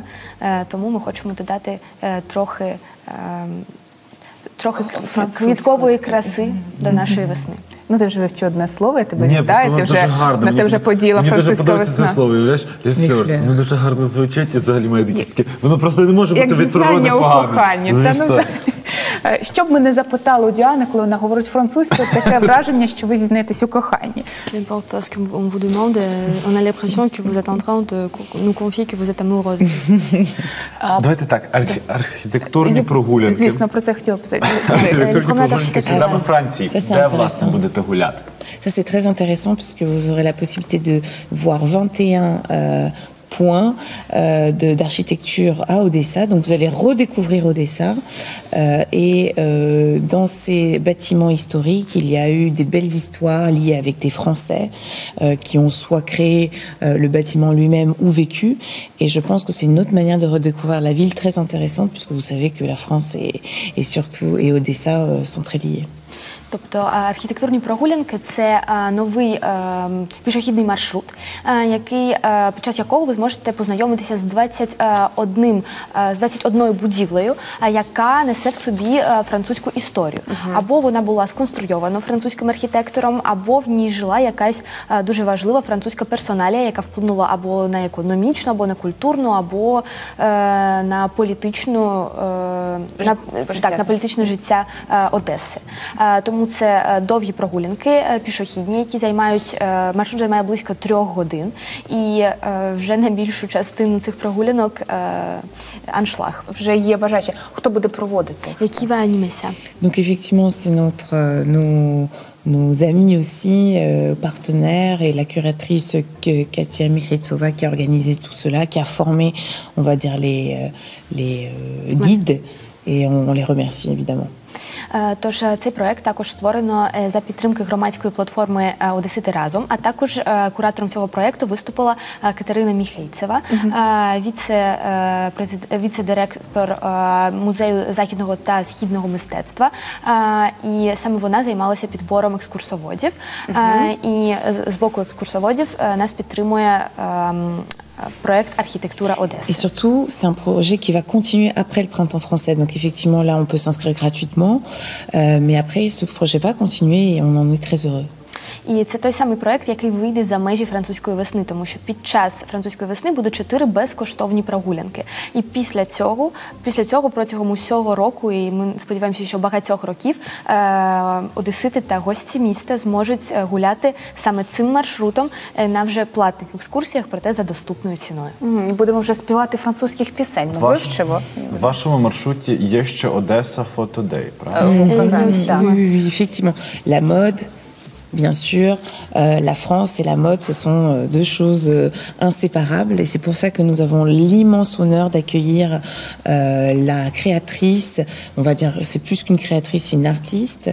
C'est Isabelle euh, Toche, Isagus, euh, son nom de scène. Et en fait, elle nous proposera une collection unique. euh, liée en fait au- au recyclage de choses dont on n'a plus besoin. Et cette collection s'appelle Prête à jeter. Е, Тож Франція та мода вони нерозривні. Саме тому е, цього року у, рамках е, Одеса Fashion Day е, ми побачимо е, колекцію французької дизайнерки е, Ізабель Тош, яка виступає е, та творить під псевдонимом Іза Гюс. Е, Іза Гюс привозить до Одеси свою колекцію, яку вже побачило місто Львів. І це дуже не дуже неординарна колекція через те, що вона е, говорить про те, що актуально сьогодні. Е, тобто усі е, сукні створено з перероблених матеріалів. Боже, екоколекція. Е, так, саме так. Це екоколекція, і е, Ізагюс е, це більше ніж е, дизайнерка чи е, модельєр. Е, Вона справжня миткиня, і е, вона почала свою кар'єру, е, коли займалася скульптурою е, та живописом, і потім вже перейшла у парадигму дизайну. Мгм. А, Діана, Коли вона буде в Одесі? Ще раз? Е, Тож е, 12, 12 квітня о де- 19.00 а, бу- е, відбудеться її показ е, у музеї електротранспорту. А 13 квітня о 12.00 е, у музеї. е, м, у- музеї мистецтва Одеси е, відбудеться е, зус- творча зустріч з е, пані Ізагюс. Ти хочеш собі якось еко-жакет, еко-піджак Ні, ні, я просто думав, купити. ну, Ми вже цікаво. з'ясували, що Париж нас найромантичніші, всі фільми про кохання, всі французи стежать за модою, так? Це наймодніші люди в Європі. voilà, donc on parle beaucoup de l'amour, mais aussi la mode, c'est important. Oui, oui, tout à fait. Euh, Ça, prend une grande place chez nous. Euh, Comme vous le savez, euh, les grandes maisons françaises d'autres coutures sont toujours créatives en France. Et c'est pour ça que c'est important de coopérer avec Odessa Fashion Day et de faire un peu des échanges entre les Ukrainiens et les Français. Je trouve que c'est une excellente idée. Е, Так, е, звичайно, вся Франція це мода, а мода це Франція. Е, І кожен українець знає велику кількість французьких модних будинків. І у Франції слідкують за модою, і саме через те, що Мода є, дуже важливою частиною французької культури. Нам важливо підтримувати співробітництво між Україною та Францією саме у цьому напрямку. Ви про стільки всього розказали. Розкажіть, як долучитися де Запрошуйте, де реєструвати, запрошуйте. Так. Invitez-nous, comment aller, où aller. Alors juste une dernière chose, on n'a pas parlé de la rétrospective Charmant le Grand du cinéma. Juste un petit mot pour ça, euh, Sonia. Е, Так, е, ще одне слово перед цим. Так. Ми не поговорили про ретроспективу Шарман Легран. Е, Для того, щоб надати віддати належне е, е, творчості е, музиканта е, Шармана Леграна, е, е, е, пробачте, Мішеля Леграна, е, м, буде будуть е, у квітні та е, травні будуть показано два, е, пробачте, чотири е, фільми з його Мгм. музикою. Так. І запрошуємо. Alors, retrouvez-nous très bientôt pour le printemps français, dès le 10 avril. Nous vous attendons nombreux pour l'ouverture et pour tous nos événements. Е, Приходьте на е, французьку весну, яка починається 10 квітня, і ми чекаємо вас на відкритті, на концерту з відкриття та на всіх інших заходах. Дякуємо. У нас у студії була Діана Бангура, директорка Alliance Française, та Софія Юхимова, асистентка Alliance Française. А ми, по- а ми передаємо слово, друзі, новинам Ользі, а вже після випуску поговоримо з нею.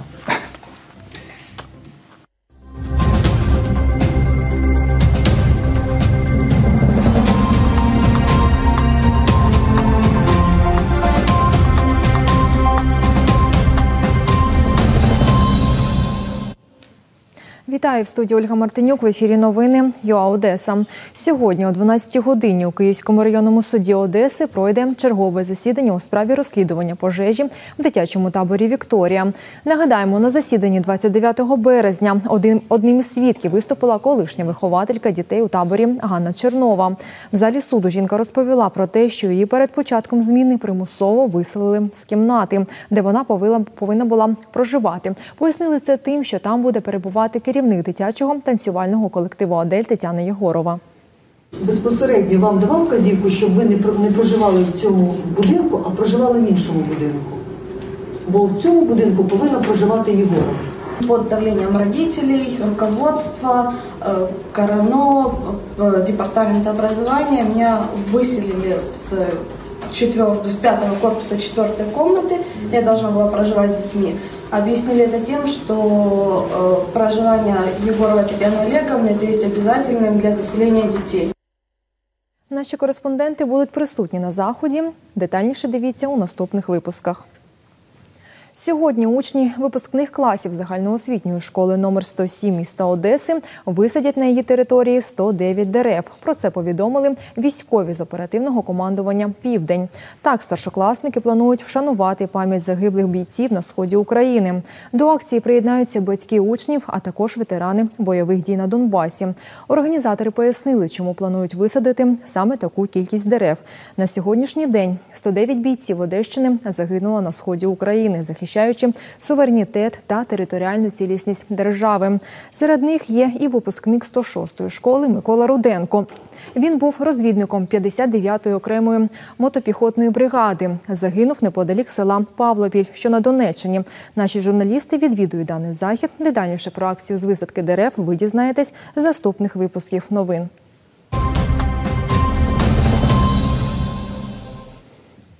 Сьогодні о 15 годині дня в Одеському музеї західного та східного мистецтва відкриється виставка, присвячена мистецтву Німеччини 16-20 століть, експонати яких знаходяться в колекції музею. Особливістю виставки стане німецький фарфор. Доповнюють експозицію пам'ятники німецько-книжкового мистецтва з відбитком з музейної бібліотеки. За словами організаторів, на виставці будуть присутні реставратори одеської філії Національного науково-дослідницького реставраційного центру України та реставратори олійного живопису музейного західного та східного мистецтва. Наші кореспонденти будуть присутні на заході і ознайомлять вас з подробицями у наступних випусках. Одеські спортсмени готуються до суперліги чемпіонату України з регбі. У змаганнях, у змаганнях візьмуть участь шість команд, які зіграють між собою по дві гри: одну на своєму полі, іншу на полі суперника. Одесу на чемпіонаті України представить команда Кредо 63 Завтра, 6 квітня, вона зустрінеться в поєдинку з харківським Олімпом.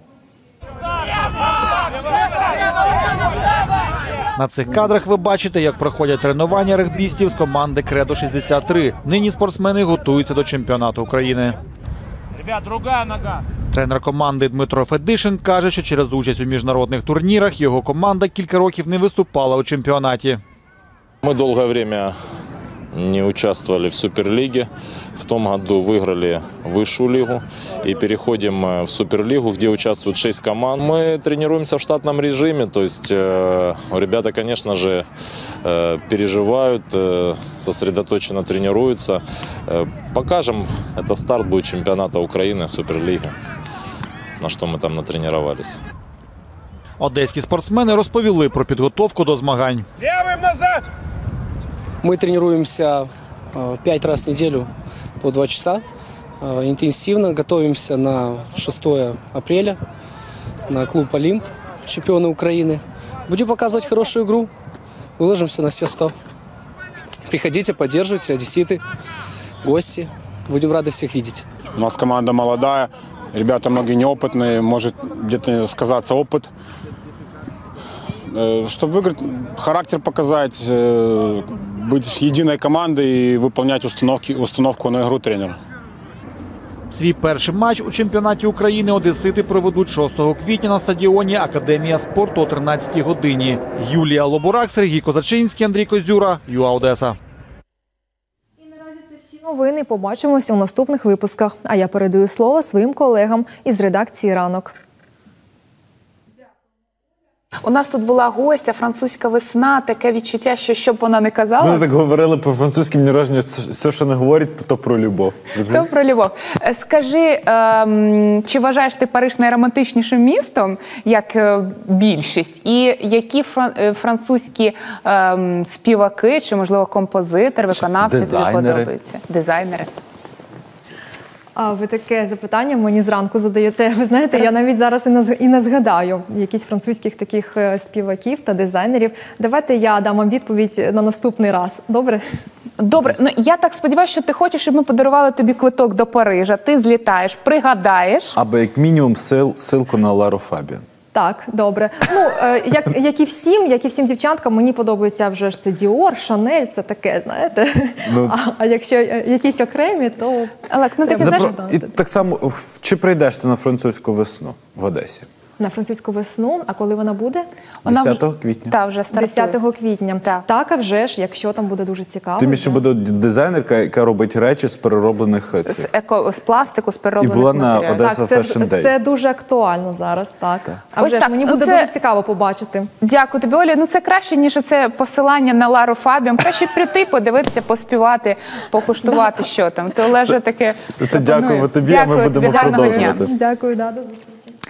Так, будемо далі продовжувати Що ти афішою, там? так? Афішу маєш? Так. У мене теж є афіша. Ну, е, Та, хто сьогодні в починає? мене якийсь день такий, що в мене аф- глючить планшет. Тому ти вже е, Ну, це чесно, про я так не фльор знаю. Я, завжди, ну, я ніколи не кажу, що в мене там щось не так, але мені нічого для вас не шкода. Я от з вами чесно, як перед самим собою. Та трошки глючить планшет, тому що закачав собі гру і бавлюся паралельну гру. Ну, пізніше після ефіру. Тож, вірити. сімейства Рейвенскофт. 5 квітня сьогодні о 19.00 театр на чайні. Відео Відокремий особня, відокремний особняк, в якому проживають п'ять жінок, перебуває інспектор Рафінг. Що там сталося? Вбивство чи нещасний випадок? Сторонніх в осо- особняку не було. Злочин могла скоїти тільки одна жінка. Класично закритий детектив. Е, Жанр детективна комедія, тривалість 120 хвилин. Е, Режисер Олександр Онищенко. Ти знаєш, я полюбляю, коли дія, ось привел детектива. Взагалі відбувається в одному місті. е, Це єдинство часу, єдність часу, простору. Ти бачила е, фільм дії. Вбивство в східному експресі або Ну, я- книжку, можливо, читала. Е, Можливо, спочатку книжку читала. Книжку читала. Так, і От, потім для мене не було так несподівано, коли всі гадали, ти уявляєш, хто там, ти взагалі уявляєш, хто там вбивця. Коли я говорила, що це дуже давно вже написала Агата Крісті, люди якось не вірили. Люди, це Агата Крісті, вона вже написала. Просто розумієш, а книжку потім- то можна поч- почитайте книжку, а потім фільм. Я книжку перше прочитав, і тому Молодець. я знав, коли друг мені в кінці фільму О, як ти це знав? Я кажу, книжки читати Телепатія. треба. Кажу, До ре- шановний. До речі, Агата Крісті вона дуже полюбляла такі таємничі історії, і вона одного разу зникла. Так. І в цьому звинуватили її чоловіка, бо її довго не могли знайти. А вона по хліб ходила. А вона похлі. Вона взагалі детективи писала, коли мила посуду. О. Краще думки. Бач, Друзі, хто губку, хоче другою написати ручку. е, детектив, хто хоче стати відомим письменником, одразу після сніданку миєте посуд і, власне, е, станете відомими. Ти пишеш детектив. Знаєш, твій чоловік дуже полюбляє писати щось. А Я всього потім почитаю, що Ага. пишу. А поки, друзі, продовжимо Бачите, як я. Е, Циганський барон сьогодні о 18.30 у театрі музичної комедії Оперета у двох діях. Лібрето Ігнат Шніцер на сцені е, театру Циганський барон був поставлений двічі і був своєрідним рекорд- рекордсменом за кількістю зіграних вистав. Отже, запрошують глядачів насолодитися романтикою, ем, романтикою чарівності, милості, пристрасті, буйних веселощів і всепоглинаючої туги, які звучать в угорських і циганських мелодіях, вміло використаних Йоганном Штраусом в цій опереті. І як казав Франц Легар, бачите, нас французи, французи, вона весна пішла ем, чарівна. Чарівництво його звуків вичерпується лише тоді, коли не буде більше життєрадості, коли людство розлучиться сміятися, співати і танцювати. Але цього, друзі, не станеться. Адже ви завітаєте на виставу Циганський барон.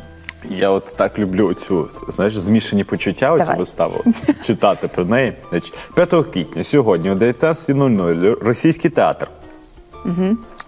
Переїзд з одного штату в інший справа клопітка, особливо для поважної самостійної вдови, яка зберегла не тільки добру пам'ять про покійного чоловіка, але й вельми сексапільну зовнішність. Нічого особливо, собі. якщо у цієї вдови є дуже непо- м, наполегливий і палкий шанувальник. Цей шанувальник, звичайно, далеко не юний, але старий кінь, як кажуть, борозни не псує. Чи зможе сивочолий чоловік підкорити серце чарівної вдови і умовити її відмовитись від переїзду, адже почуття, які вона відчуває до нього, вони досить змішані.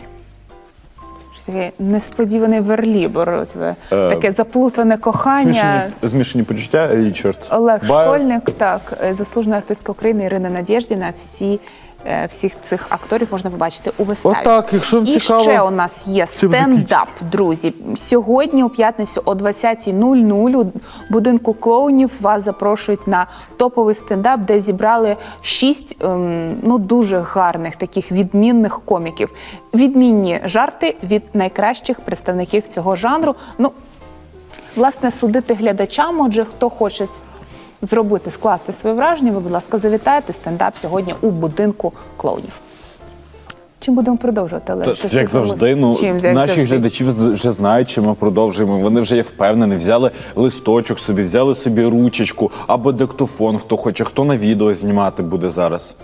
Тому що зараз ну Що від що коїться? У нас бо будемо розслідування слова. детектива. Вже ти думаєш, так е, одразу можна з першого разу запам'ятати молдавську, гагаузьку і болгарську. Ну, з нашою Аню можна. Можна, але ви все одно записуєте разом з нею, тому дивимося.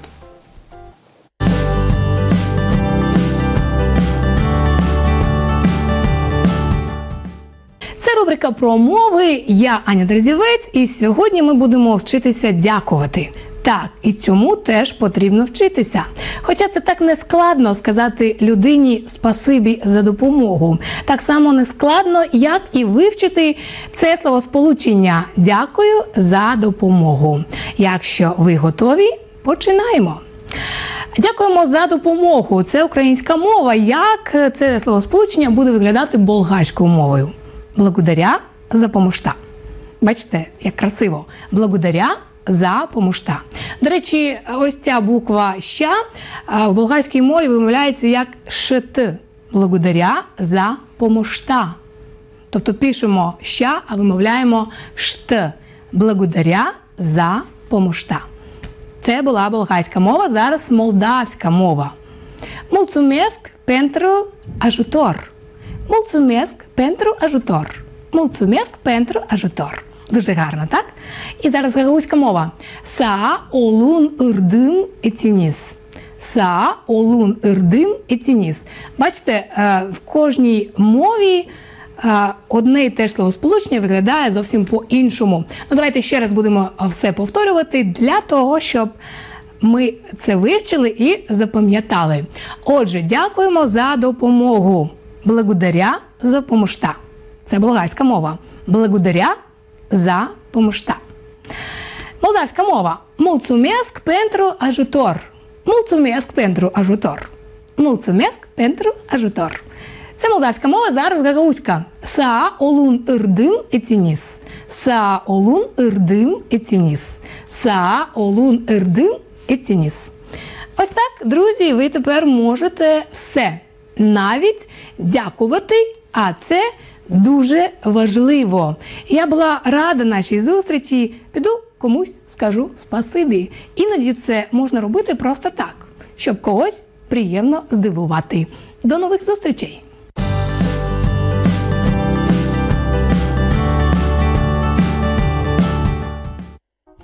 Що ж, вже цими вихідними пройде флешмоб до Всесвітнього дня здоров'я. Про це поговоримо та про інші промоакції здорового способу життя. Поговоримо з організаторами. Так, у нас у студії Євген е, Жаріков. В мене також якась проблема з планшетом, тому ти представляєш. Голова Одеської обласної організації Товариства Червоного Христа України. Правильно, та Надія Ямненко, національна координаторка з першої е, допомоги Товариства Червоного Христа України. Правильно чи трішки поправити? треба? Правильно. Все правильно, чудово. Тож розпочинаємо. Яка програма все ж таки флешмобу? Адже там я прочитав стільки всього. Що там можна пройти чуть не ціле медичне обстеження з карточкою з карткою. Доброе утро, Татьяна. Доброе утро, Олег. Доброе утро, телезрители. Ну, в первую очередь, я обязан проговорить, вы как бы очень громогласно назвали нас э, организаторами. Мы соорганизаторы. Есть у нас замечательная общественная организация в Одессе 10 апреля, которая при поддержке э, очень многих общественных организаций и Департамента здравоохранения, э, внутренней политики. Э, Насколько я знаю, участвует э, студенческое объединение э, медицинского института. Э, 7 числа организовывают возле Дюка замечательное мероприятие, которое будет посвящено Дню, э, Всемирному Дню здоровья. Что там будет? Ну, в принципе, давайте э, оставим интригу. Э, Объявление есть. Приходите, смотрите, там будет очень интересно. Э, но хотелось бы немножко рассказать или э, объяснить, э, почему именно 7 числа. Бо Євгене, інтрига е, стосовно здоров'я, вона так звучить трохи лякаюче. Так, коли лікар каже, ти аналізи потім скажу. Залишимо інтригу. Так, але ж давайте трошечки. Э, Почему 7 числа? Да. 7 числа – это Всемирный день здоровья, и он приурочен к созданию э, э, ну, такой известной э, всемирной организации здравоохранения. Э, Когда я вот всё- шел к вам к эфиру, на эфир, э, ну, штаб-квартира Всемирной организации здравоохранения находится в Женеве. Мы, как представители Красного Креста, у которых штаб-квартира тоже находится в Женеве, у меня возник такой вопрос, а где же они там находятся? И когда я залез туда в Google карте, я увидел, что они находятся, есть замечательное такое Женевское озеро, чуть севернее находится комплекс зданий ООН, э, европейского отделения в замечательном таком парке. Чуть выше, это как от морвокзала до Дюка, Мгм. находится штаб-квартира Красного Креста, а еще чуть выше, там где оперный, на расстоянии, находится здравоохране- э, Всемирная организация здравоохранения. То есть они там соседи, по сути. Но вопрос в том, что каждый год э, Всемирная организация здравоохранения, в которую входит 194 страны мира, э, поднимает те проблемы, которые насущи для людей и пытается донести информацию о том, что человеческое здоровье это, это самый высший паритет э, в, нашей, в нашей жизни на нашей планете. Но это не только в сторону населения, но и в сторону органов власти, что нужно им сделать для того, чтобы жизнь стала лучше и э, здоровее. Совершенно верно. И вот, видимо, когда они друг к другу ходят в гости, э, тем более, что... Це дюк в оперний театр, коли ходять. Червоний хрест був. Ну, вот где-то там по кругу, да. А, Дело в том, что генеральный секретарь ООН каждого 7 числа апреля каждого года объявляет одну общую тему, которая охватывает всю планету и э, ну, вот на телеканалах обсуждают и э, поднимают эти вопросы. И вот в этом году, в 2019 году, это тема доступности медицины. Потому что я думаю, что вы не э, дадите, скажем так, мне солгать о том, что, открывая социальные сети, мы видим очень страшные крики о помощи, о том, что там заболел ребенок, там... Збирають э, кошти так весь с- час. Кошти, да. То есть мы видим это настолько недоступность э, тех нужных вещей когда мы видим стоимость тех операций или стоимость тех лекарств, и они просто подвергают шок, потому что понимаешь, семья, которая оказалась в этой ситуации, она, э, это, это большое горе. Так вот, доступность – это тоже элемент, э, на который должны мы обратить все внимание. И э, в воскресенье в 11 часов, придя к Дюку, вы увидите э, те моменты, которые мы пытаемся донести с общественными организациями и органами власти. Можна буде проводити Яким якесь чином? обстеження? Ну ось.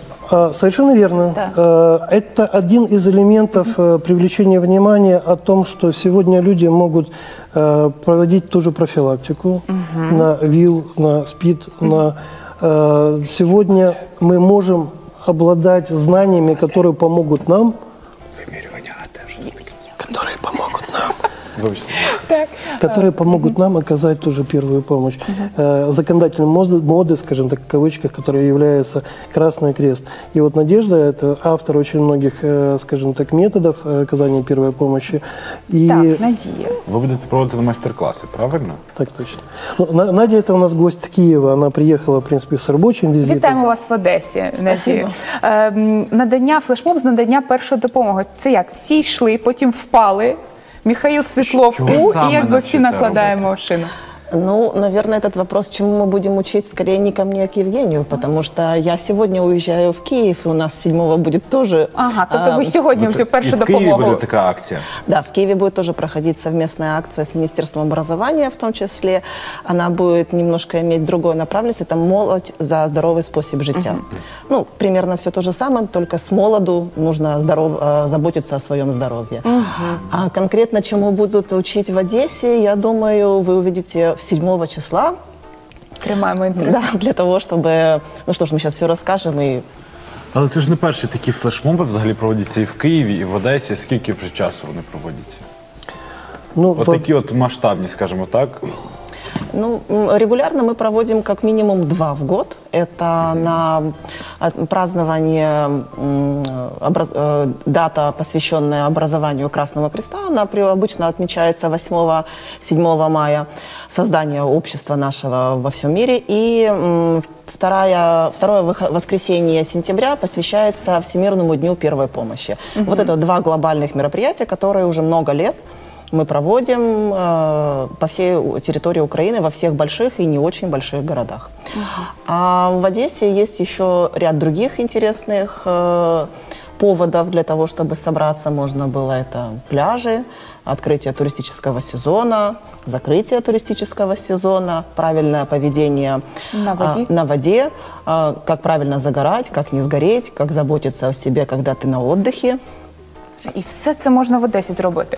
Е, Євгене, що ще якась особливість родзинка саме цього заходу, який буде? Що б ви ще додали? Э, Дело в том, что те, кто посетят этот, э, это мероприятие, могут бесплатно пройти тест на э, ВИЧ.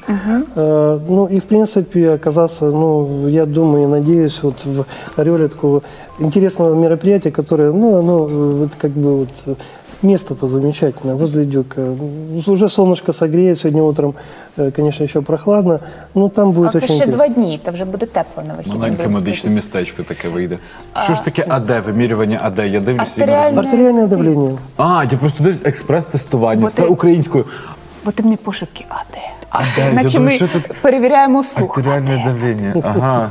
Зір ми сьогодні Артериальное перевірили, давление. зараз слух. Сегодня, да, я как бывший врач, для которого э, Всемирная организация здравоохранения является таким, как бы, э, ну, очень серьезной организацией, э, ну, констатирует, конечно, очень многие факты, начиная от того, что гипертония на сегодняшний день у нас очень сильно помолодела.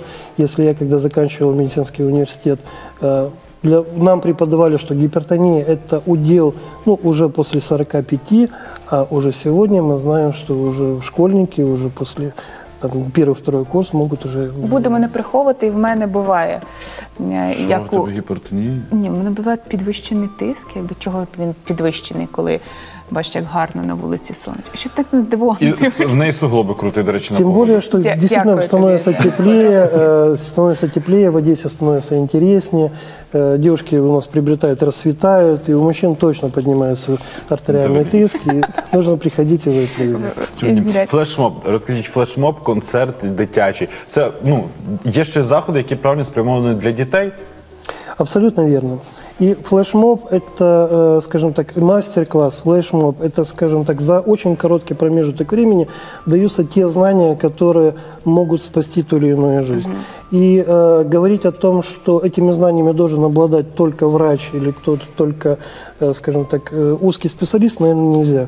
Сегодня вся медицина, и, кстати, э, Всемирная организация здравоохранения, она нацеливает на то, чтобы органы здравоохранения начали тесно работать с общественными организациями, неправительственными организациями, для того, чтобы в первую очередь был и возможность контроля, и возможность донесения вот этой информации э, до населения, начиная от того, что вы знаете, что сегодня в обществе идет дискуссия по э, прививкам. Це Там така тема. И мы сегодня, опять же, столкнулись с тем, что вспышка кори на, э, в Одесской области унесла жизни очень многих людей. Было. Ну, каждая жизнь – это э, ценность. И э, вот, вот эти вещи, то есть, опять же говорю, э, нужно доносить людям о необходимости, об э, безопасности, о возможности. И вот этот э, флешмоб и эти мероприятия нацелены на то, чтобы люди задавались хотя бы вопросом, а что происходит, как происходит, что нужно сделать, Э, может быть, обучиться первой помощи, не дожидаться, пока доедет скорая помощь, чтобы можно было оказать э, в доврачебную помощь Мгм, своим и близким, врятувати родным, життя. детям и спасти эту жизнь. Євгене, таке питання до вас трохи підступне. Е, дивіться, у нас зараз е, ви як лікар, бо лікарі. Бивший. Ну, таких не буває, вони ну, завжди. як військових. так.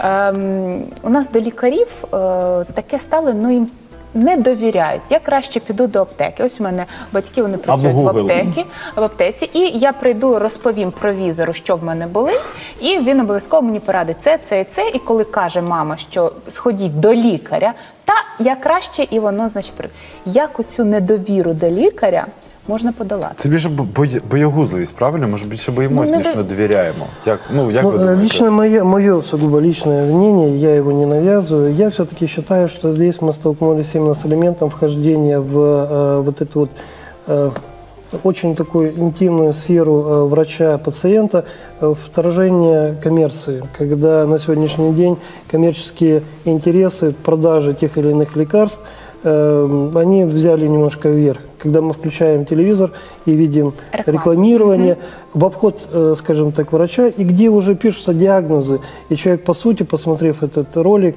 э, сам себе ставит диагноз и уже идет к Знаешь, провизору и что говорит, дайте мне то, потому что я вот это увидел. І не слухають, що провізор каже до Совершенно лікаря. верно. А пойти к врачу на сегодняшний день это у нас уже проблема. Это нужно потратить время, это нужно, скажем так, э, ну, выбрать это время, прийти, записаться, э, э, получить консультацию, возможно, сделать какие-то анализы. Это финансовая сторона вопроса. И все это усложняется. Конечно, люди идут по упрощенному варианту. И, к сожалению, и практика показывает, что это самый короткий, но самый неправильный путь. Так, краще прийти на флешмоб. Обязательно. Краще прийти Так на флешмоб. розкажіть чуть-чуть, х- яку ж будуть, що ж по першій медичній допомозі? Штучне дихання, масаж серця, травми, переломи. Що? Мы попробуем оставить эту интригу все-таки за собой, потому что э, вы можете, но я не хочу, за- как бы Красный Крест это нейтральная организация, мы не прибыльная организация, не занимаемся саморекламой, э, но есть очень много направлений в Красном Кресте, где мы можем обучить, рассказать, начиная от того, как принимать роды на дому, заканчивая, э, каким образом э, оказать помощь человеку, который подперхнулся э, в Ось так. Ого, я цього а не як знав. можна долучитися, стати волонтером Червоного Христа? Треба якось що зробити? Ну, в первую очередь, Желание. это желание, Желание. совершенно верно. Это в первую очередь желание, потому что сегодня волонтерское движение, это действительно, ну, как бы мы пытаемся поднять тоже уровень волонтерства. И волонтер, который должен прийти в организацию, он должен получить в первую очередь положительные эмоции, он должен реализоваться. А необхідна медична освіта чи це ні? Нет, ни в коем образе.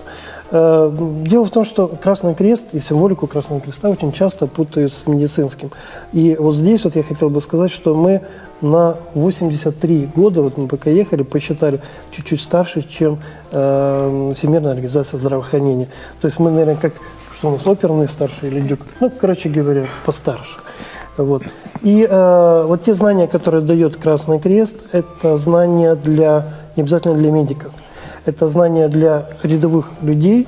э, и Я хотел до этого. Самое главное, то, чему мы учим всех, и в том числе своих волонтеров, медик он или не медик, это быть гуманным к человеку и иногда э, просто не быть безразличным к постороннему человеку. Пройти и спросить, чем я тебе могу помочь. Тем самым действительно можно спасти чью-то жизнь простым вопросом.